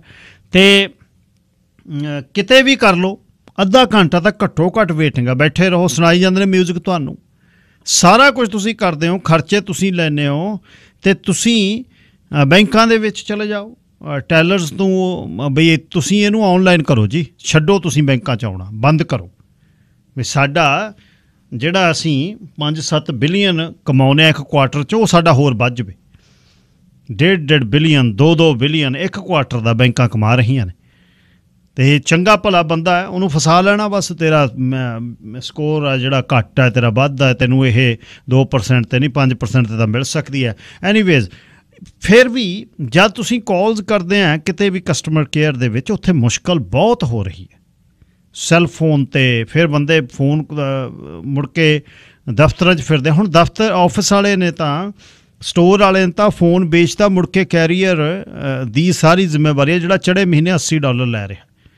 ਇਸ ਤਰ੍ਹਾਂ ਚਲੋ ਇਹ ਤਾਂ ਛੱਡੋ, ਇਹ ਤਾਂ ਲਗਜ਼ਰੀ ਆ ਅੱਗੇ। ਹੁਣ ਜਿਵੇਂ WCB ਦੀ ਗੱਲ ਕਰਕੇ ਵਰਕਸੇਪ BC ਦੀ ਗੱਲ ਕਰ ਗਏ ਨੇ ਗੁਰਮੀਤ ਸਿੰਘ ICBC ਦੀ ਗੱਲ ਹੈ। ਸਾਰੇ ਉਹਨਾਂ ਦੀ ਇੱਕ ਜਿਹੜੀ ਏਜੰਟਸ ਲਈ ਤਾਂ ਲਾਈਨ ਅਲੱਗ ਹੈ। ਕਸਟਮਰ ਸਰਵਿਸ ਵਾਲਿਆਂ ਨੂੰ ਉਹ ਕਹਿੰਦੇ ਵੀ 8 ਤੋਂ 5 ਹੈ। ਉਧਰੋਂ 8 ਤੋਂ 5 ਹੈ ਨੌਕਰੀ ਅਗਲੇ ਦੀ। ਕਦ ਕਰੂਗਾ ਫੋਨ? ਸੈਟਰਡੇ ਸੰਡੇ ਬੰਦ ਹੈ। ਕਸਟਮਰ ਜਿਹੜੀ ਸਰਵਿਸ ਹੈ, ਉਹ ਵਾਕਈ ਪ੍ਰਭਾਵਿਤ ਹੋਈ ਹੋਈ ਹੈ। ਕੋਵਿਡ ਨੇ ਤਾਂ ਕੋਵਿਡ ਨੇ ਕੀ ਉਹਨਾਂ ਦਾ ਕੀਤਾ ਕਿ ਸੈੱਲ ਫੋਨ ਬੰਦ ਹੋ ਗਏ? ਵਰਕਸੇ BC ਦੀ ਮਹੀਨੇ ਦੀ ਜਿਹੜੀ ਉਹਨਾਂ ਦੀ ਕਿਸ਼ਤ ਜਾਂਦੀ ਹੈ, ਬੰਦ ਹੋ ਗਈ? ਨਾ ਕੁਝ ਨਹੀਂ ਬੰਦ ਹੋਇਆ। ਉਹਨਾਂ ਨੇ ਇਹਦੇ ਵਿੱਚ ਬੰਦੇ ਲੇ ਆਫ ਕਰਕੇ ਆਪਣਾ ਕੰਮ ਸੂਤ ਕਰ ਲਿਆ। ਵ- ਵੱਧ ਗਿਆ ਉਹਨਾਂ ਦਾ ਪ੍ਰੋਫਿਟ ਵੱਧ ਗਿਆ ਬਸ। ਉਹ ਤਾਂ ਚੰਗੇ ਭਲੇ ਸਮੇਂ ਤੇ ਵਰਕਸੇ BC ਤਾਂ ਰਾਹ ਨਹੀਂ ਸੀ ਬੰਦਿਆਂ ਨੂੰ ਦਿੰਦੀ। ਹੁਣ ਤਾਂ ਉਹਨਾਂ ਨੂੰ ਬਹਾਨਾ ਬੈਠੇ ਰਹੋ। ਉਹ ਕਹਿੰਦਾ ਭਾਜੋਗੇ 2 ਘੰਟੇ 'ਚ। ਗੱਲ ਕਰ ਲਾ ਕੰਸਰਨਡ ਮਿਨਿਸਟਰਾਂ ਨਾਲ ਐਮਐਲਏ ਨਾਲ। ਉਹ ਕਹਿੰਦੇ ਨਾ ਜੀ, ਉਹਨਾਂ ਦੇ ਤਾਂ ਰੂਲ ਇਹੋ ਜਿਹੇ ਨੇ। ਤੇ ਜਿੱਦਣ ਮਾਣ ਦੀ ਗੱਲ ਹੋਊ ਵੀ ਅਸੀਂ ਭਾਈਚਾਰੇ ਚੋਂ ਮਿਨਿਸਟਰ ਆ, ਉਹ ਕਹਿੰਦੇ ਵੀ ਦੇ ਦੇ ਥਾਪੀ ਫਿਰ ਮੋਢੇ ਤੇ ਆ ਕੇ। ਪ੍ਰਸ਼ਾਦੇ ਪਾਣੀ ਦੀ ਗੱਲ ਮਿੱਠਾ ਤੇ ਕੌੜੇ ਦੀ ਗੱਲ ਹੋਵੇ ਸੱਦ ਲੈ। ਐਨ ਪਿਚਕਾਰੇ ਲੈ ਲੈ ਕੇ ਫਿਰ ਉਹ ਬਟਰਿੰਗ ਕਰਦੇ ਨੇ। ਮਤਲਬ ਜੇ ਬੰਦੇ ਨੂੰ ਰੱਬ ਬਣਾ ਦੇਣ। ਬਈ ਇਹ ਤਾਂ ਬਸ ਇਹਦੇ ਬਿਨਾ ਨਹੀਂ ਹੈ ਕੁਝ ਇਹੀ ਆ ਸਾਰਾ ਕੁਝ ਡਾਡੇ ਦਾ ਸੱਤੀ ਵੀ 100 ਹੈ ਪੈਸਾ ਜੇਬ 'ਚ ਹੋਵੇ ਬਾ ਗੁਣ ਗਾਣ ਜਿਹੜਾ ਮਰਜ਼ੀ ਕਰਾ ਲਓ। ਉਸਰਾ Mohan Singh ji line number 1 hello ਸਤਿ ਸ਼੍ਰੀ ਅਕਾਲ ਜੀ। ਸਤਿ ਸ਼੍ਰੀ ਅਕਾਲ ਜੀ ਗਿੱਲ ਸਾਹਿਬ। ਗੱਲ ਸਰ ਤੁਹਾਨੂੰ ਮੈਂ ਗੱਲ ਦੱਸਾਂ ਆ ਜਿਹੜੀ ਤੁਸੀਂ 911 ਦੀ ਕਰਦੇ ਹੋ ਹੋਰ ਕੋਈ ਗੱਲ ਕਰਦੇ ਆ ਹਾਂਜੀ। ਜਿਹਨੂੰ ਅਸੀਂ ਦੂਜਾ ਰੱਬ ਕਹਿੰਦੇ ਨੇ ਉਹ ਤੁਹਾਡੇ ਲੈ ਕੇ ਲਾਗੇ ਨਹੀਂ ਆ ਰਿਹਾ। ਤੁਸੀਂ ਕੋਈ ਦਵਾਈ ਲਿਖਾਉਣੀ ਜਾਂ ਕੁਝ ਕਰਨਾ ਹੈ ਨਾ ਉਹ ਕਹਿੰਦੇ ਦੋ ਦਿਨ ਠਹਿਰਿਓ ਫੇਰ ਆਉਣਾ ਉਹਨੇ ਚਾਰ ਪੰਜ ਦਿਨ ਆਉਣਾ ਹੀ ਨਹੀਂ ਹੈਗਾ। ਸਾਰੀਆਂ ਨਾਂ ਲਿਖੀ ਜਾਂਦੇ ਲਿਖੀਆਂ ਪੜ੍ਹਨ ਬਣਾਈਆਂ ਫਿਰ ਇੱਕ ਦਿਨ ਜਾਂਦਾ 5 ਮਿੰਟ ਜਾਂਦਾ ਦਫ਼ਤਰ ਵਿੱਚ ਉਸ ਜਾ ਕੇ ਲਿਖ ਕੇ ਤਾਂ ਆ ਜਾਂਦਾ ਹੈ। ਸਾਰੇ ਪਾਸੇ ਆ ਪੈਂਡੈਮਿਕ ਕਰ ਕਹਿ ਲਓ ਜਾਂ ਉਹਦੇ ਅਸੀਂ ਹਰਾਮਖੋਰੀ ਫੜ ਲਈ ਡੇਕਾ ਤੋੜਨਾ ਹੀ ਨਹੀਂ ਹੈਗਾ ਜੇ ਕੰਮ ਚੱਲਦਾ ਏਸੀ ਤਾਂ ਜਿਹੜੇ ਘਰੋਂ ਕੰਮ ਕਰਦੇ ਉਹ ਵੀ ਇਹੀ ਕਰਦੇ। ਹੁਣ ਮੈਨੂੰ ਜਾਂ ਤੁਹਾਨੂੰ ਕੀ ਪਤਾ ਤੁਹਾਡਾ ਘਰ ਕੰਮ ਜਿਹੜਾ ਚੱਲ ਰਿਹਾ ਤੁਸੀਂ ਕਰ ਰਹੇ ਘਰਾਂ ਜਾਣ ਖਰ ਜਾਣ ਕੇ ਮੈਨੂੰ ਹੋਲਡ ਕਰਾਇਆ। ਹੈ। ਹੂੰ। ਇਹ ਕੋਈ ਨਿਸ਼ਾਨੀ ਤਾਂ ਨਹੀਂ ਹੈ ਨਹੀਂ। ਹੂੰ ਹੂੰ ਭਾਵੇਂ ਨੇ ਆਪਣੇ ਨਿਆਣੇ ਖੜਾਈ ਆ ਡਿੱਪਰ ਲਾਉਂਦਾ ਨਿਆਣੇ ਦੇ। ਹੂੰ। ਹਾਂ। ਇਹ ਤਾਂ ਥੋੜਾ ਜਿਹਾ ਆਪਾਂ ਜਿਹਦਾ ਕਹੀਏ ਹੁਣ ਪੈਂਡੈਮਿਕ ਕਰਕੇ ਹੋ ਵੀ ਸਕਦਾ ਪਰ ਜਦੋਂ ਬੰਦਾ ਨਾ ਕਿਸੇ ਮੁਕਤ ਮਿਲਣ ਲੱਗ ਪਏ ਉਹ ਵੀ ਹੋਰ ਹਰਾਮਖੋਰ ਜਿਹਦਾ ਹੋਰ ਹੋ ਜਾਂਦਾ ਗਾਂ ਦੇ ਗਾਂ Thank you thank you thank you ਜੀ ਯੂਨੀਵਰਸਿਟੀ ਡਿਸਟ੍ਰਿਕਟ ਇੱਕ ਬੋਜ਼ਾ ਵੱਲੋਂ ਇੱਕ 2 ਮਿੰਟ ਦੀ ਦੂਰੀ ਤੇ ਇੱਕ ਟਾਵਰ ਬਣਾਇਆ ਜਾ ਰਿਹਾ ਬੋਜ਼ਾ ਪ੍ਰਾਪਰਟੀਆਂ ਵੱਲੋਂ। ਅਮ ਯੂਨੀਵਰਸਿਟੀ ਡਿਸਟ੍ਰਿਕਟ ਉਹਦਾ ਨਾਮ ਹੈ blue sky ਪ੍ਰਾਪਰਟੀਆਂ built and backed by Bosa 5000 dollar the purchase credit ਹੈ 105 ਐਵਨਿਊ ਤੇ ਪਾਰਕ, ਸਿਟੀ ਪਾਰਕਵੇ ਦਾ ਕਾਰਨਰ ਆ, ਉੱਥੇ ਦਫ਼ਤਰ ਖੁੱਲਿਆ ਹੋਇਆ ਸੇਲਜ਼ ਆਫਿਸ ਤੇ ਤੁਸੀਂ ਹੁਣ ਇੱਥੇ ਬੁੱਕ ਕਰਾ ਸਕਦੇ ਹੋ। ਬੜੇ ਰਿਪਿਊਟਡ ਬਿਲਡਰ ਨੇ। ਬਲੂ ਸਕਾਈ ਪ੍ਰਾਪਰਟੀਆਂ ਯੂਨੀਵਰਸਿਟੀ ਡਿਸਟ੍ਰਿਕਟ ਉਹ ਬਣਾ ਰਹੇ ਨੇ ਸਰੀ ਦੇ ਡਾਊਨਟਾਊਨ 'ਚ। 105 ਐਵਨਿਊ ਤੇ ਸਿਟੀ ਪਾਰਕਵੇ ਤੇ। ਤੇ ਬਹੁਤ ਡਾਊਨਟਾਊਨ ਸਰੀ ਦੇ ਵਿੱਚ ਜਿਹੜੇ ਹਾਈ ਰਾਈਜ਼ ਟਾਵਰ ਬਣ ਜਾ ਰਹੇ ਨੇ। ਤੇ ਸਾਰੇ ਪ੍ਰੀ ਸੈਲ ਜਿਹੜੇ ਹੋ ਰਹੇ ਨੇ, ਵਧੀਆ ਪ੍ਰਾਈਸਸ ਮਿਲ ਰਹੀਆਂ ਨੇ। ਪਰ ਇੱਕ ਕੰਮ ਕਰਿਓ, ਇਸ ਤਰ੍ਹਾਂ ਸੋਚ ਕੇ ਨਾ ਕਰਿਓ ਕਿ ਸਾਰੇ ਹੀ ਫਲਿੱਪ ਹੋ ਜਾਣਗੇ। ਇਹ ਗੱਲ ਬੜੀ ਚੱਲਦੀ ਆ ਅਸਾਈਨਮੈਂਟ ਕਰ ਦਿਓ ਇਹ ਕਰ ਦਿਓ ਲੱਖ, ਸਵਾ ਲੱਖ ਡਾਲਰ ਦੇਣਾ ਪੈਣਾ, ਜੇ 8 ਲੱਖ ਦਾ ਤੁਸੀਂ ਕੋਈ ਲਿਆ ਤਾਂ ਸਵਾ ਲੱਖ ਡਾਲਰ ਦੇਣਾ ਪੈਣਾ 5-4 ਮਹੀਨੇ 'ਚ। ਤੇ ਉਹ ਚਾਹੇ ਕੰਪਲੀਟ 4 ਸਾਲ ਨੂੰ ਹੋਣਾ 5 ਸਾਲ ਨੂੰ ਹੋਣਾ, ਮੇਰਾ ਸੱਚ ਦੱਸਣਾ ਤੁਹਾਨੂੰ ਫਰਜ਼ ਹੈ। ਜੇ ਤੁਸੀਂ ਕਹੋ ਸਾਰੇ ਫਲਿੱਪ ਹੋ ਜਾਣਗੇ ਹੋ ਵੀ ਸਕਦੇ ਆ ਪਰ ਇਹਦਾ ਇਹ ਨਹੀਂ ਮਤਲਬ ਵੀ ਸਾਰੇ ਹੀ ਜਾਣਗੇ। ਕੁਲਵੀਰ ਲੇਲ ਜੀ ਲਾਈਨ ਨੰਬਰ 2 ਹਾਂਜੀ ਹਰਜੀਤ ਸਿੰਘ ਜੀ ਸਤਿ ਸ਼੍ਰੀ ਅਕਾਲ। ਸਤਿ ਸ਼੍ਰੀ ਅਕਾਲ ਵੀਰ ਜੀ। ਜਿਵੇਂ ਆਪਾਂ ਗੱਲ ਕਰਦੇ ਹਾਂ ਵੀ ਆਹ ਹੋਲਡ ਤੇ ਫੋਨ ਦੀ ਜਾਂ ਡਾਕਟਰ ਦੇ ਕਿਤੇ ਵੀ ਆਪਾਂ ਜਾਂਦੇ ਹੁਣ ਹਰੇਕ ਬੰਦਾ ਕਹਿੰਦਾ ਤੁਸੀਂ ਆਨਲਾਈਨ ਚੈੱਕ ਕਰ ਲਓ ਜਾਂ ਤੁਸੀਂ ਉਹ ਕਰ ਲਓ ਨਾ। ਜੀ। ਮੰਨ ਲਓ ਵੀ ਜਿਸ ਬੰਦੇ ਨੂੰ ਜਦੋਂ ਆਪਾਂ ਨਾਰਮਲ ਪੜ੍ਹ ਕੇ ਆਏ ਆ ਸਾਰੇ ਬੰਦੇ ਇੰਨਾ ਨਹੀਂ ਗਿਆਨ ਹੈਗਾ ਆਨਲਾਈਨ ਕੀ ਕਿੱਥੋਂ ਕਿੱਥੋਂ ਫਾਈਂਡ ਆਊਟ ਕਰਨਾ ਕੀ ਕਰਨਾ।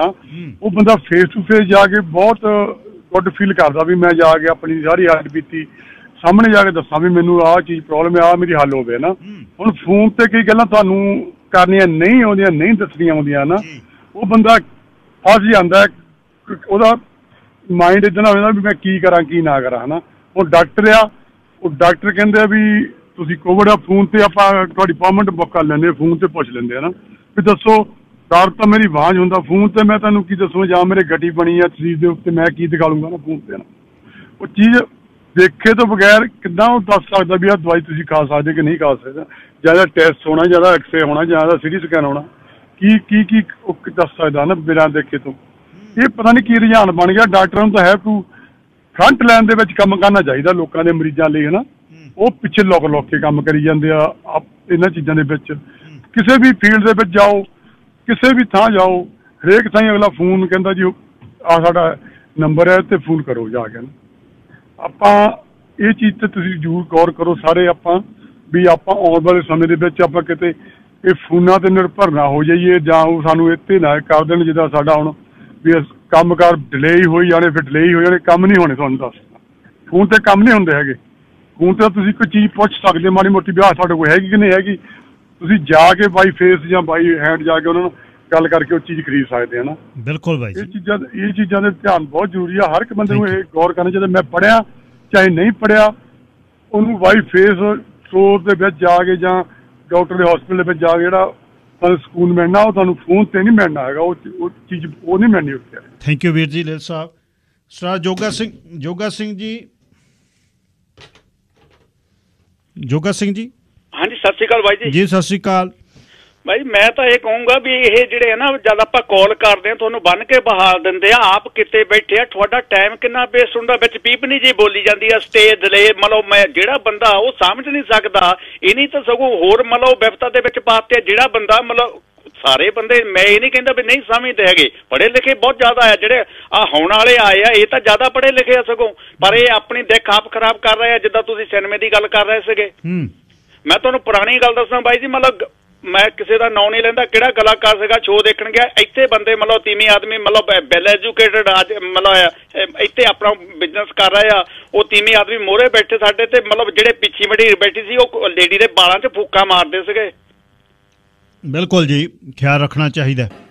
911 ਕਾਲ ਜਦ ਤੁਸੀਂ ਕਰਨੀ ਹੈ ਜੀ ਨਹੀਂ ਅੰਗਰੇਜ਼ੀ ਆਉਂਦੀ ਉਹਨਾਂ ਨੂੰ ਪੰਜਾਬੀ ਜ਼ਰੂਰ ਕਹਿ ਦੇਣੀ ਹੈ ਤੇ ਐਮਰਜੈਂਸੀ ਦੀ ਕਾਲ ਐਮਰਜੈਂਸੀ ਜਦੇ ਕਰਨੀ ਹੈ ਜਦ ਤੁਹਾਨੂੰ ਐਮਰਜੈਂਸੀ ਹੋਵੇ।